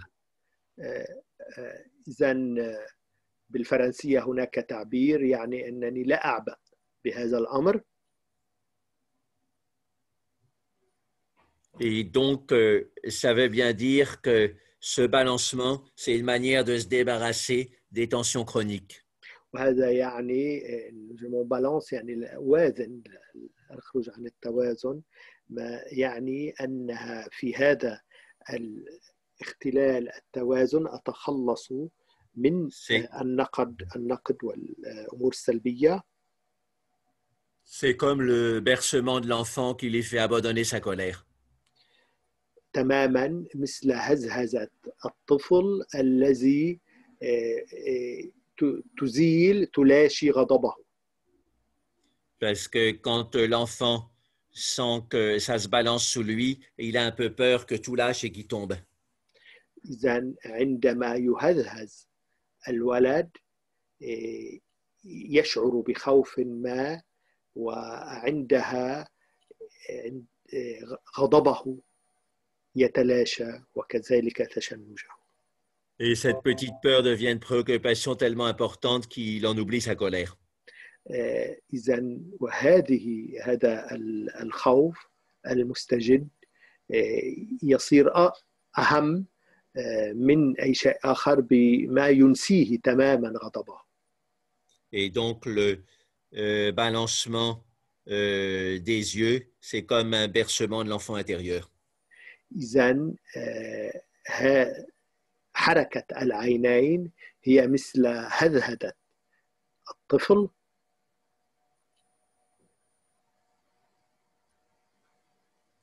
Et donc, euh, quand euh, quelqu'un vous embête aussi, on dit je l'envoie valser, c'est-à-dire je le- je l'envoie euh, euh, balancer. Et euh, donc, c'est de nouveau la valse, c'est un mouvement de bercement.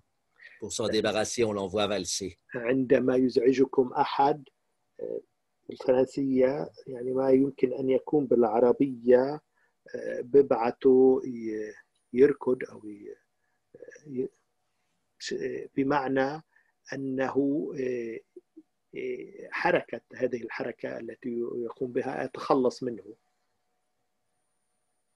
Et donc, à ce moment-là, c'est important de dire que c'est pas tout qu'on envoie valser. المهم أن نقول عندها أننا آه، آه، يعني آه، نرسله يرقص أي نتخلص منه On n'envoie pas valser les valeurs de base comme la bienveillance, la vigilance, la non-violence. لا آه، نترك نسقط ال- القيم الأساسية مثل التنبه مثل الرحمة والانتباه إلى الآخر Mais par contre, on envoie valser les, les, notre ego coincé. ولكن بالمقابل نسقط الأنا آه، آه، الأنانة يعني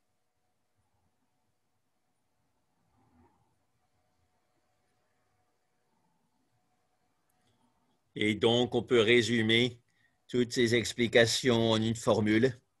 يمكن أن نلخص كل هذه الشروحات بصيغة واحدة Donc, euh, en français, c'est ça marche deux par deux. Donc, ça, pour euh, euh, Louis, ce sera peut-être un peu difficile à traduire. بالفرنسية من مقطعين سنحاول أن نترجمها Mais euh, de façon, en, en traduisant de façon un peu souple, vous pourrez trouver un équivalent en arabe. إذن سنحاول أن نجد مقابلا لها بالعربية Il est aussi possible de faire trois syllabes sur deux battements de cœur. يمكن أن نلفظ مقاطع ثلاثة على نبضة قلب واحدة Donc, à la place de faire deux syllabes à l'inspire et deux syllabes sur les- à l'expire, on fait trois syllabes à l'inspire et à l'expire. تقولون ب... تقولون ثلاث مقاطع بدل مقطعين على الشهيق وثلاثة مقاطع على الزفير Et donc, les phrases en français, ça peut être tout simple. On peut dire Je m'en balance, j'envoie valser, l'ego coincé. إذا آه، آه، بالعربية أتوازن أرسل أو أسقط آه، هذا الأنا ال- المسجون أو المحبوس Et donc, vous trouvez une sorte de rythme en arabe, même si ce n'est pas parfait, et puis vous l'associez au va-et-vient des yeux. إذا آه، آه، رتما أي آه، وتيرة معينة بالعربية توازن بينها بين المقطعين Et si vous voulez, si en français, pour vous entraîner juste un peu, ben, Jean, je mens, c'est deux battements de cœur et le regard vers la gauche sur l'inspire. إذا بالعربية آه، أسقط مثلا على نبضتين للقلب Et après, balance, c'est sur l'expiration de battements de cœur en regardant vers la droite. وأوازن عن- وتنظرون إلى الجهة اليمين Et ensuite, de même, Jean voit, c'est sur l'inspire de battements de cœur, on regarde vers la gauche. أرسل على الزفير على نبضتين للقلب وننظر إلى الجهة اليسار Et ensuite, donc, valser sur l'expiration, l'ego sur l'inspire et coincer sur l'expire. فالسي على وازن أو أرقص على الشهيق ومثلها على الزفير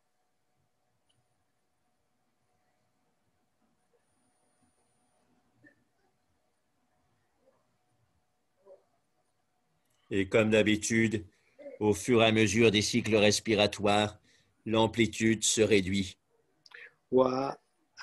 وكالعادة فإن حلقات التنفس آه، تخف تصير أقصر C'est comme quand on passe les vitesses en voiture, on passe par le point mort. يعني كذا كما نفعل عندما نغير الفيتاس في السيارة آه، نمر ب ما يسميه بالعربي البومور Et donc, euh, ça veut dire qu'il n'y a plus d'effort du tout, euh, tout est libre.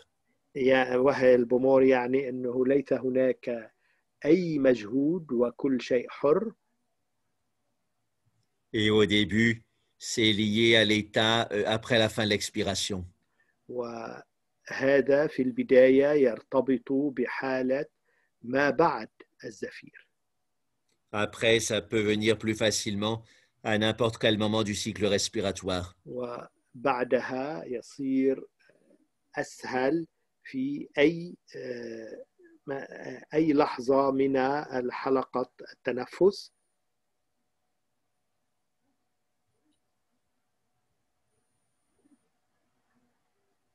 Donc, vous vous bercez et vous vous, ça vous fait rire aussi d'envoi- d'envoyer valser l'ego coincé. إذا آه، هكذا آه، ترقصون ذاتكم وتسقطون الأنا ما ي- ي- يضحككم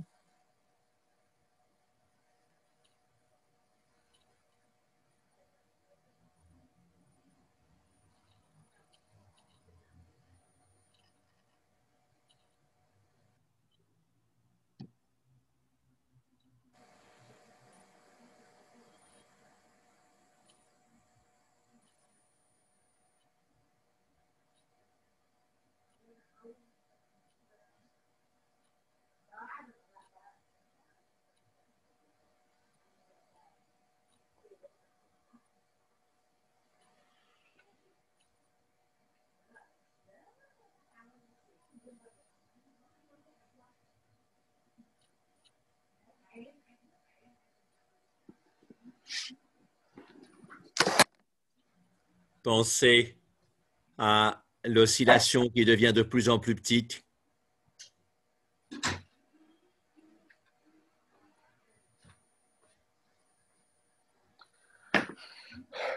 Tu reprends Donc, l- pensez à l'oscillation qui devient de plus en plus petite.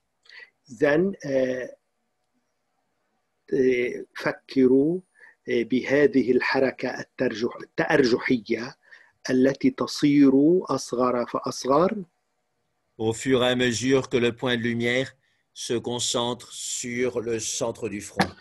إذا آه، بتدريجيا مع هذا ال- ال- النقطة النورانية التي تتركز في وسط الجبين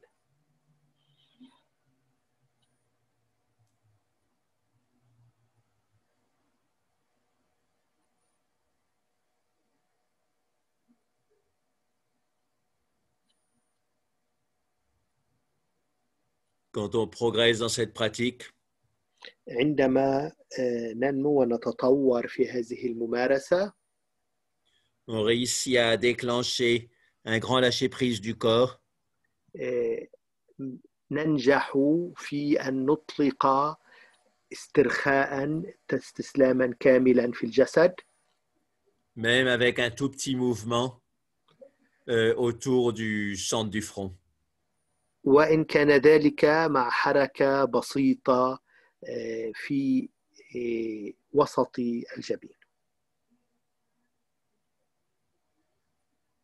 C'est un peu comme la nanotechnologie. مثل آه، تكنولوجيا Il y a un tout petit élément qui déclenche un grand effet. إذا عنصر صغير هو الذي يسبب آه، تأثيرا كبيرا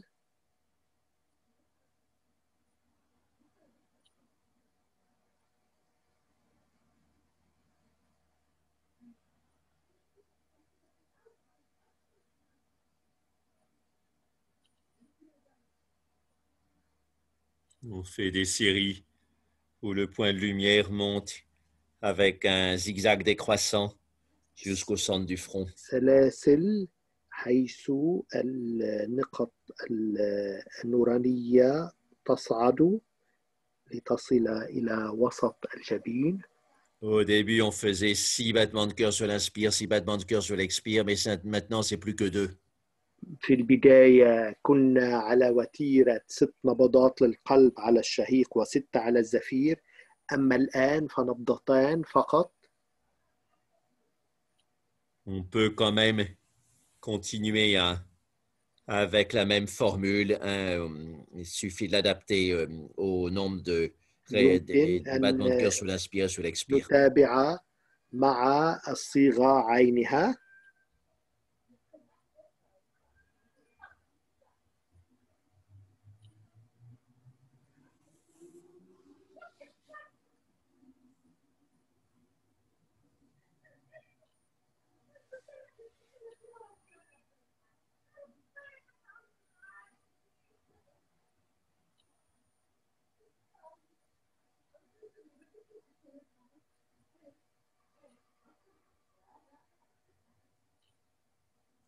Voilà, maintenant on fait le home final.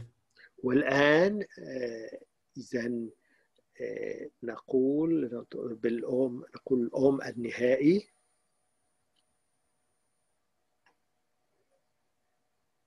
On sent que le home sort du front et descend dans tout le corps.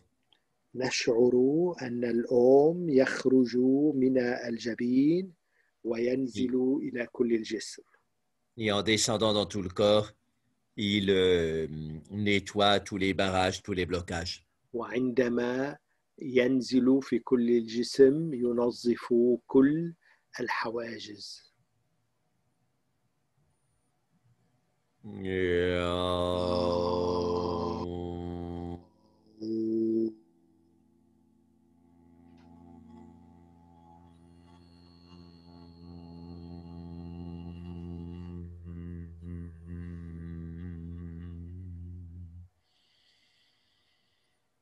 É...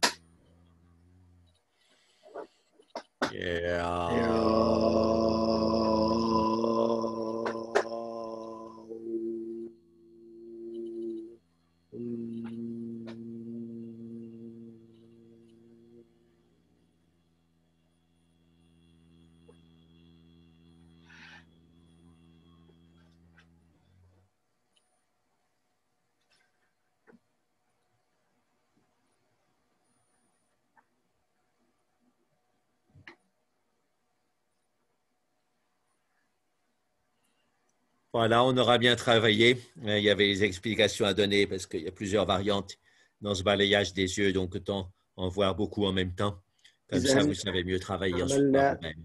جيدا ولكن كان هناك الكثير من الشروحات كي آه، نق- آه، نقولها لأن آه، هذا العمل يتطلب شرحا على آه، من نواحي عديدة Très Oui, bien, donc si On vous a avez des pris plus qu'une observations, heure de etc. méditation. Une heure cinq Mais on minutes. aura bien travaillé, oui, oui, oui. Une heure cinq minutes de méditation. Comme dirait la Falice, il faut ce qu'il faut. Parce que là, il y a Ah. beaucoup de variantes. Qu'est-ce qu'il on- nous reste là pour les questions? Ben écoute, on, on fait ce qu'on peut. Hein. On peut. C'est la pratique qui répondra aux questions, c'est le mieux.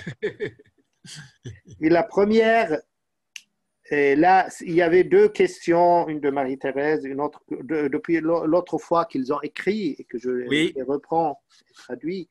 Comment distinguer un acouphène d'origine pathologique d'un acouphène bénéfique pour entendre le son du silence En arabe, كيف نميز بين طنين بسبب مرضي وطنين مفيد متأت من صوت الصمت Alors, l'acouphène pathologique, il gêne, euh, il est ennuyeux, il donne de la tension. إذا الطنين المرضي آه، مزعج آه، يسبب ضغطا وتشنجا Alors que l'acouphène physiologique, on est content de l'entendre. لا- l'acouphène vous voulez dire euh, du Le silence son dans l'oreille. إذا Mais آه، donc, acouphène، physiologique, on est content de l'entendre. آه، الفيزيولوجي نحن نكون مسرورين آه، مسرورون بسماعه On cherche volontairement à l'écouter et quand on l'entend, on devient très calme. إذا نبحث آه، بصورة آه، إراديا بصورة إرادية عن الإصغاء إليه وعندما آه، نسمعه نكون فرحين بسماعه Mais même s'il y a un acouphène pathologique, on peut le transformer en acouphène de méditation.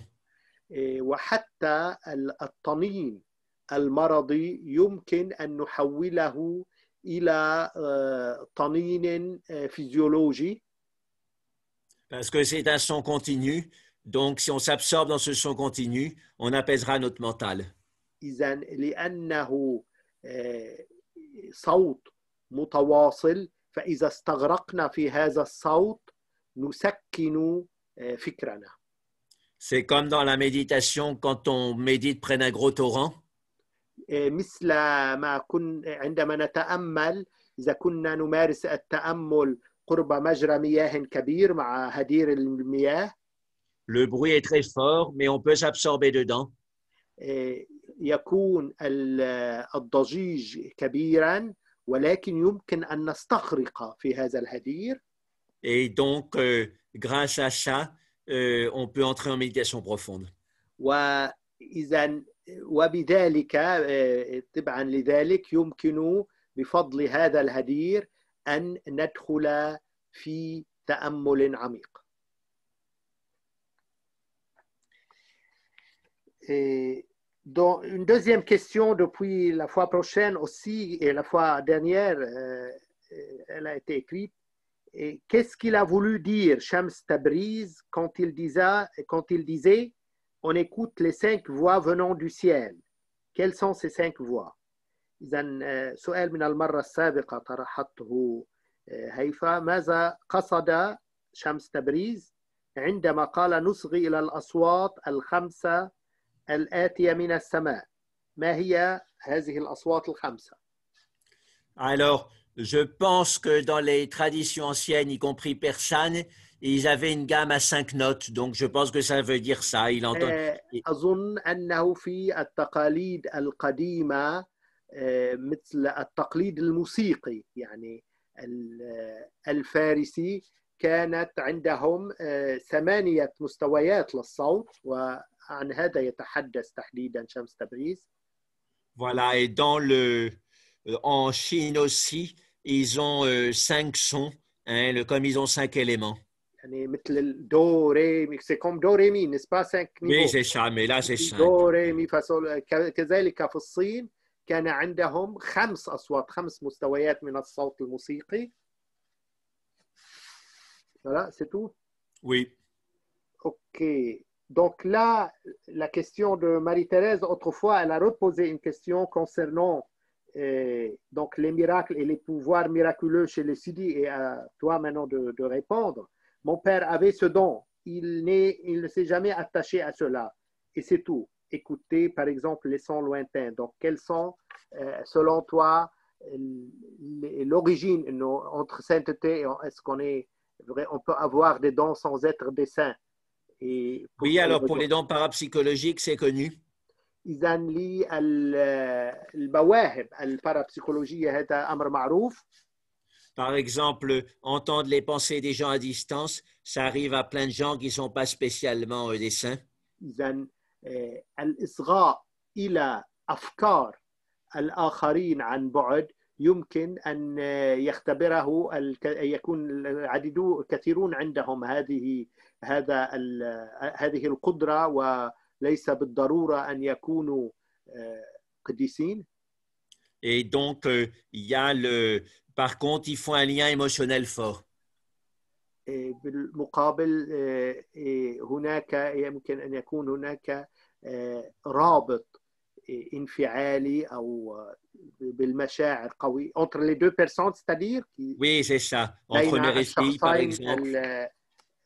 من يقرأ فكر الشخص الآخر يعني في نوع من العلاقة الانفعالية أو العاطفية القوية بين الشخصين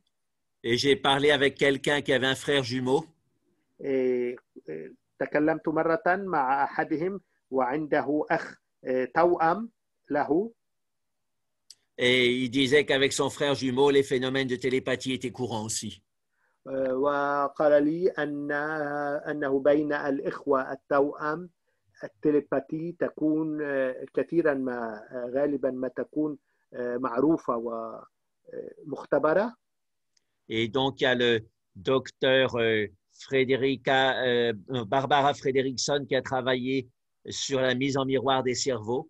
إذا آه، دكتورة باربرا فكرة تع- آه، اشتغلت على آه، أن آه، نظر عبر مرآة أي المقارنة بين الأدمغة Et donc, quand deux personnes s'entendent bien et échangent, leurs cerveaux réagissent en miroir. إذا وعندما آه، يكون شخصين آه، آه، مرتبطان بتليباتي معينة الد- دماغهما يعملان وكأن دماغا واحدة الواحد يعكس صورة الآخر عبر مرآة. Et donc, une hypothèse tout à fait plausible, c'est que cette mise en miroir qui fonctionne à quelques mètres de distance peut fonctionner aussi à quelques kilomètres ou centaines de kilomètres de distance. إذا آه، وهناك فرضية جد ممكنة أن آه، هذه آه، هذا ال- آه، إذا آه، المرآة إذا كانت تعمل على بعض الأمتار أو الكيلومترات يمكن أيضا أن تعمل بالطريقة عينها على مئات الكيلومترات Mais après, il reste à montrer en biophysique quelles ondes sont en jeu, etc. يبقى أن نبين في البيوفيزياء ما هي الآليات العاملة في هذا ال- هذا المجال كيف تعمل هذه التليباثي Ok, comment arriver à ne pas être stimulé par une excitation extérieure que durant le temps euh, de la stimulation, c'est-à-dire comme les méditants que vous avez déjà, dont vous avez parlé, les méditants zen et le bruit, ils réagissent uniquement durant le bruit, ni avant ni après, alors que notre stimulation est essentiellement dans l'attente d'un événement et après cet événement. كيف يمكننا أن نصل إلى أن لا يثيرنا أي مثير خارجي إلا في وقت هذه الإثارة أي أن نكون مثل متأملي الزان الذين تكون ردة فعلهم مقتصرة على وقت الضجيج لا قبله ولا بعده في حين أن ردة, فعلنا الأساسية هي في توقع حدث وكذلك بعد وقوعه أكثر مما هي خلال هذا الحدث Bon, c'est quelque chose qui est rendu possible par un grand entraînement des méditants zen à revenir tout le temps au présent. إذا آه، هذا أمر كان متاحا وحققه آه، متأملو الزان بعودتهم دائما إلى هذا الآن ال- آه، الراهن الوقت الراهن C'est tout. C'est tout, oui. Et comment ils font ça pour revenir Ah, ça, c'est l'entraînement de la méditation, hein, revenir au présent. هذا التدرب من خلال التأمل بالعودة دائما إلى Le passé n'existe pas, le futur n'existe pas encore, seul le présent existe. إذا الماضي آه، غير موجود انتهى وكذلك المستقبل آه، غير موجود لم يأتي بعد إذا وحده الوقت الآني الحالي الراهن هو الموجود Et il n'y a que dans le présent qu'on peut guérir le passé إيه، فقط إيه، وفقط إيه، في الوقت الراهن الحاضر نستطيع أن نشفي الماضي et jeter les fondations de l'avenir. إيه Jeter les fondations de l'avenir. وكذلك وضع أسس المستقبل فقط يمكن ذلك في الوقت الحالي الراهن. Ok, vous avez dit que la mâchoire inférieure est connectée avec toutes les crispations du corps. Pourquoi la mâchoire inférieure spécialement Et comment, en détendant la mâchoire inférieure, peut-on détendre les autres régions tendues du corps Je traduis. Et, قلت oui. أن إن الفك الأسفل مرتبط بكل تشنجات الجسم. لماذا الفك الأسفل تحديدا؟ وكيف نستطيع بإرخاء الفك الأسفل أن نرخي كل تشنجات الجسم الأخرى؟ Donc, euh, je pense que c'est relié au fonctionnement de base du désir qui est oral. إذا آه هذا آه أعتقد أنه مرتبط بأساس الرغبات والتي هي- عموما رغبة نعبر عنها آه شفهيا بالكلام Et donc, le réflexe fondamental pour l'enfant, c'est de téter. إيه، ال- إيه، ردة الفعل الأساسية للطفل هي أن يرضع Et donc, euh, s'il ne tète pas, il meurt. إيه، إذا لم يرضع يموت Et donc, ça reste gravé dans notre vie d'adulte sous forme de tension dans la mâchoire. إذا وهذا يحفر في آه، فكرنا ووجداننا بردة الفعل هذه من الرضاعة Et puis, ça vient aussi de l'anxiété. وهذا أيضا يأتي كذلك من القلق Quand on a l'anxiété, on a toujours envie d'inspirer plus. أسبري Inspirer plus. آه، عندما آه، نشعر بالقلق دائما آه، تكون عندنا رغبة أن نتنشق المزيد والمزيد من الهواء On dit même alors qu'on a soif d'air. آه، ونقول آه، وأيضا أننا آه، عندنا عطش للهواء Et donc, euh, euh, eh ben, si on euh, détend euh, toutes ces tensions de l'anxiété dans la mâchoire et le cou, إذا أرخينا كل هذه التشنجات التي يسببها القلق في الفك وأيضا في الرقبة on détend les muscles respiratoires auxiliaires qui Et- veulent inspirer plus. إيه، on détend les muscles إيه، إيه، يعني نرخي respiratoires auxiliaires qui sont dans le cou et qui se Isaac. tendent pour inspirer plus. نرخي ال- العضلات التنفس ال- الكمالية ليست أساسية إيه، كي نتنفس المزيد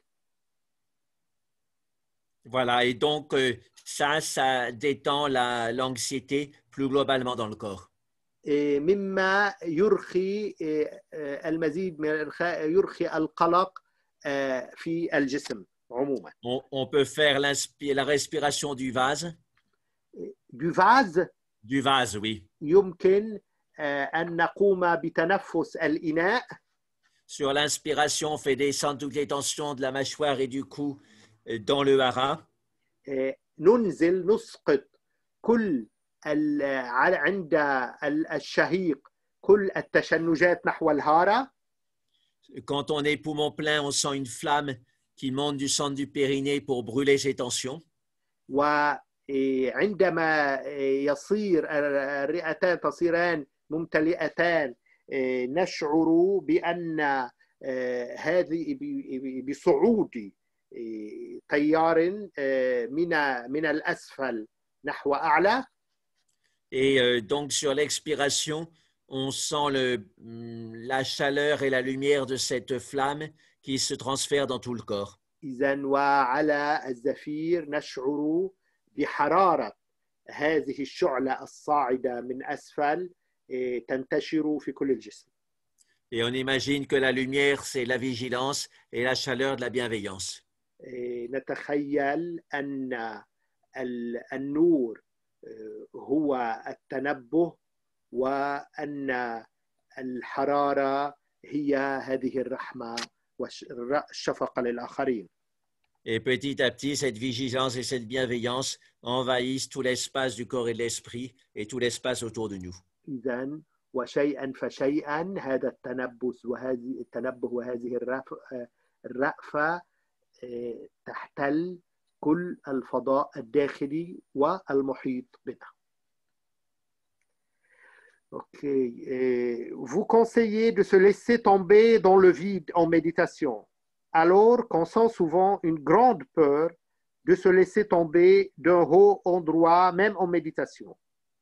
Faut-il malgré ça prendre ce risque et quel serait l'effet تنصح أن ندع أنفسنا نسقط في الفراغ في التأمل في حين أننا نشعر بذعر إذا ما تركنا أنفسنا نسقط من مكان عال حتى لو كان ذلك في التأمل فهل يجب المضي في هذا التخيل رغم هذا الخوف؟ Oui, donc faut penser aux chutes dans le vide, dans le rêve. إذا آه، علينا أن آه، نفكر بالسقوط في الفراغ آه، خلال الحلم Et là, c'est très agréable. وهذا يكون أي ممتعا أمرا ممتعا هذا السقوط Souvent, ça correspond à une phase du souffle où on est poumon vide. وهذا غالبا ما يرتبط بحالة التنفس عندما تكون الرئة فارغة Et donc, si on va de la peur et qu'on se détend, إذا إذا كنا نشعر بالخوف ونرخي الجسم لنا les endorphines sont libérées et on gagne une grande concentration et une grande joie. إيه، الأندورفين تفرز عندها وهكذا إيه، نربح آه، يعني إيه، نحصل على فرح وعلى استرخاء قوي Donc, lancez-vous. إذا عليكم أن تنطلقوا هنا. La dernière question, maintenant on a fait un record là aujourd'hui. Oui, Et Vous avez parlé plusieurs fois de Tenzin Palmo. Est-ce une relation maître-disciple entre vous et elle Est-ce possible qu'elle euh, participe une fois à nos leçons sur Zoom euh, euh, حدثتنا مرارا عن تنزين بالمو هل هي معلمة لك وهل يمكن أن تشارك في هذه الدروس؟ donc c'est une relation différente de celle que j'ai eue avec Swami Vijayananda. إنها علاقة مختلفة عن العلاقة التي كانت لي مع معلمي آه، فيجياناندا Pendant neuf ans, je l'ai, Vijayananda, je l'ai vu pratiquement tous les soirs. آه، خلال تسعة سنوات كنت آه، أرى وأقابل فيجياناندا كل ليلة Et pendant 12 ans, je l'ai vu environ le tiers du temps. وخلال 12 عاما آخرا كنت آه، أراه ثلثي الوقت Donc, Tenzin Palmo, je la vois bien moins souvent. آه، تنزين بالمو أراها أقل من ذلك بكثير Mais je sens un lien fort avec elle. ولكنني أشعر برابط قوي آه، بها Et puis, si je lui ai écrit un mail, elle me répond euh, rapidement. آه، وعندما أكتب إليها فهي تجيبني بسرعة Donc, j'essaie de pas trop lui écrire parce que je sais qu'elle est très prise. آه، أحاول أن لا أكتب إليها كثيرا لأنها آه، غالبا ما تكون منشغلة Mais je sais que s'il y a réellement un problème, je, je veux dire spirituel, euh, je peux lui écrire ou aller la voir et elle me répond.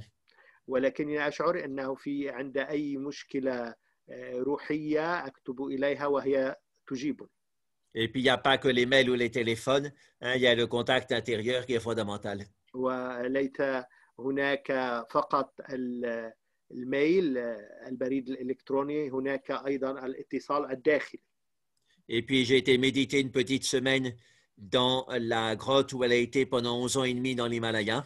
إيه، مارست التأمل في هذه المحبسة في التلة التي كانت آه، تتأمل فيها في الهيمالايا Et donc, euh, bon, j'y suis pas retourné parce que j'ai mon propre ermitage en Himalaya.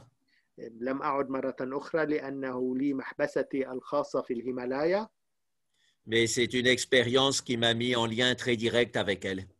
ولكنها كانت تجربة وضعتني في علاقة قوية معها Et donc, c'est une expérience qui continue maintenant. وهذه التجربة تتواصل الآن J'ai été content de pouvoir euh, participer à la publication d'un nouveau livre d'elle en français. وكنت مسرورا لأنني شاركت في كتاب جديد عنها بالفرنسية et que son livre euh, ait pu passer, donc que j'ai pu le présenter à l'émission euh, Sagesse bouddhiste du dimanche matin en mois d'août dernier. واستطعت أن أقدم لهذا الكتاب في برنامج على التلفزيون عن البوذية في شهر آب الماضي Voilà, et donc, euh, ben, écoutez, je vais essayer de lui demander. hein, le- c'est vrai que euh, je pense qu'elle travaille pas tant que ça par Zoom, mais elle peut le faire quand même. آه، سأحاول أن أطلب منها أن تظهر تشارك معنا في درس من هذه الدروس آه، أعرف أنها منشغلة ولكن يمكن أن تشارك أقله مرة على ما على ما أظن Voilà, donc, euh, euh, voilà, là j'ai un peu plus de temps. Je vais tâcher de lui demander, on va voir ce qu'elle répond. ما Elle avait سأطلب fait- منها ذلك ونرى ماذا ستجيب Elle avait fait une vidéo de 10 minutes pour le congrès euh, Science, Conscience et Yoga euh, qu'on avait fait à Beyrouth. Et le bon, je pense que les gens avaient été touchés. On avait fait sous-titres en français et en arabe. إذا آه، هي آه، أيضا أرسلت رسالة فيديو إلى المؤتمر الذي عقدناه في بيروت آه، في أيار 2019 وكثر الذين تأثروا بهذه الرسالة البسيطة والحميمة التي بعثت بها عبر الفيديو Voilà, et sans doute elle connaît euh, les moines arabophones qui traduisent des choses de Dharamsala euh, وهي en Égypte. تعرف. أيضا آه، الرهبان البوذيين آه، العرب آه، الذين يقومون بترجمة الكثير من النصوص البوذية وهم آه، مقيمون في درمسلا Voilà. OK. Euh, oui, aujourd'hui, on a un record, deux heures et quart. Hein? Oui, oui. Bah, bah, c'est tu as bien. fait une méditation déjà d'une C'est heure un et dix cadeau de minutes. Noël. Il Hein? faut un cadeau de Noël. Oui, donc euh, euh, autrefois, on a eu un problème de connexion. Il y en a qui n'ont pas euh, eu, euh, à cause de la connexion. Le- donc l'annonce de notre leçon, celle-là, ils l'ont eu au moins aujourd'hui. Mais on va continuer normalement euh, dans cette période et toujours, même, euh, euh, on, va, on, on vous envoie toujours des annonces, mais souvent vous ne la recevez pas. Et donc c'est toujours le même rendez-vous même pendant cette période de fête, c'est le mercredi à 6h30 heure de Beyrouth. Oui, oui.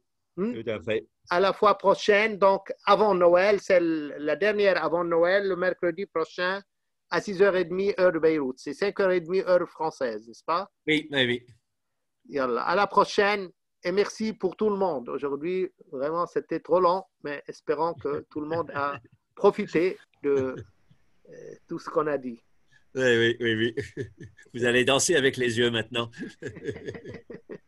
Oui, parce que c'est la danse est interdite là. Notre gouvernement libanais, ils ont sorti une loi, euh, la danse interdite pendant les fêtes à cause de euh, La- Du euh, virus. du virus. Donc euh, toutes les soirées dansantes sont interdites. Ben, les gens peuvent se compenser au moins par la danse euh, des yeux. La danse des yeux, oui, la danse méditative. Ce sera même peut-être mieux. Euh, Allez, au à la revoir. prochaine. À la prochaine. Jacques, le programme continue alors? Oui, les chats, samedi prochain, on, ça continue. Hein, le- oui, oui. Ce sera la Non, veille de mercredi- Noël. Mercredi prochain? Oui, mercredi prochain ou l'avant-veille de Noël. L'avant-veille de Noël, oui. Ah oui. Ah d'accord. Bonsoir Jacques, vous avez des nouvelles pour le stage? Eh bien, je dois regarder là aujourd'hui, j'étais dehors et je t'envoie un mail tout de suite. Voilà. Donc c'est un cours, c'est ça De toute façon, on fera des cours de 4 à 6. euh,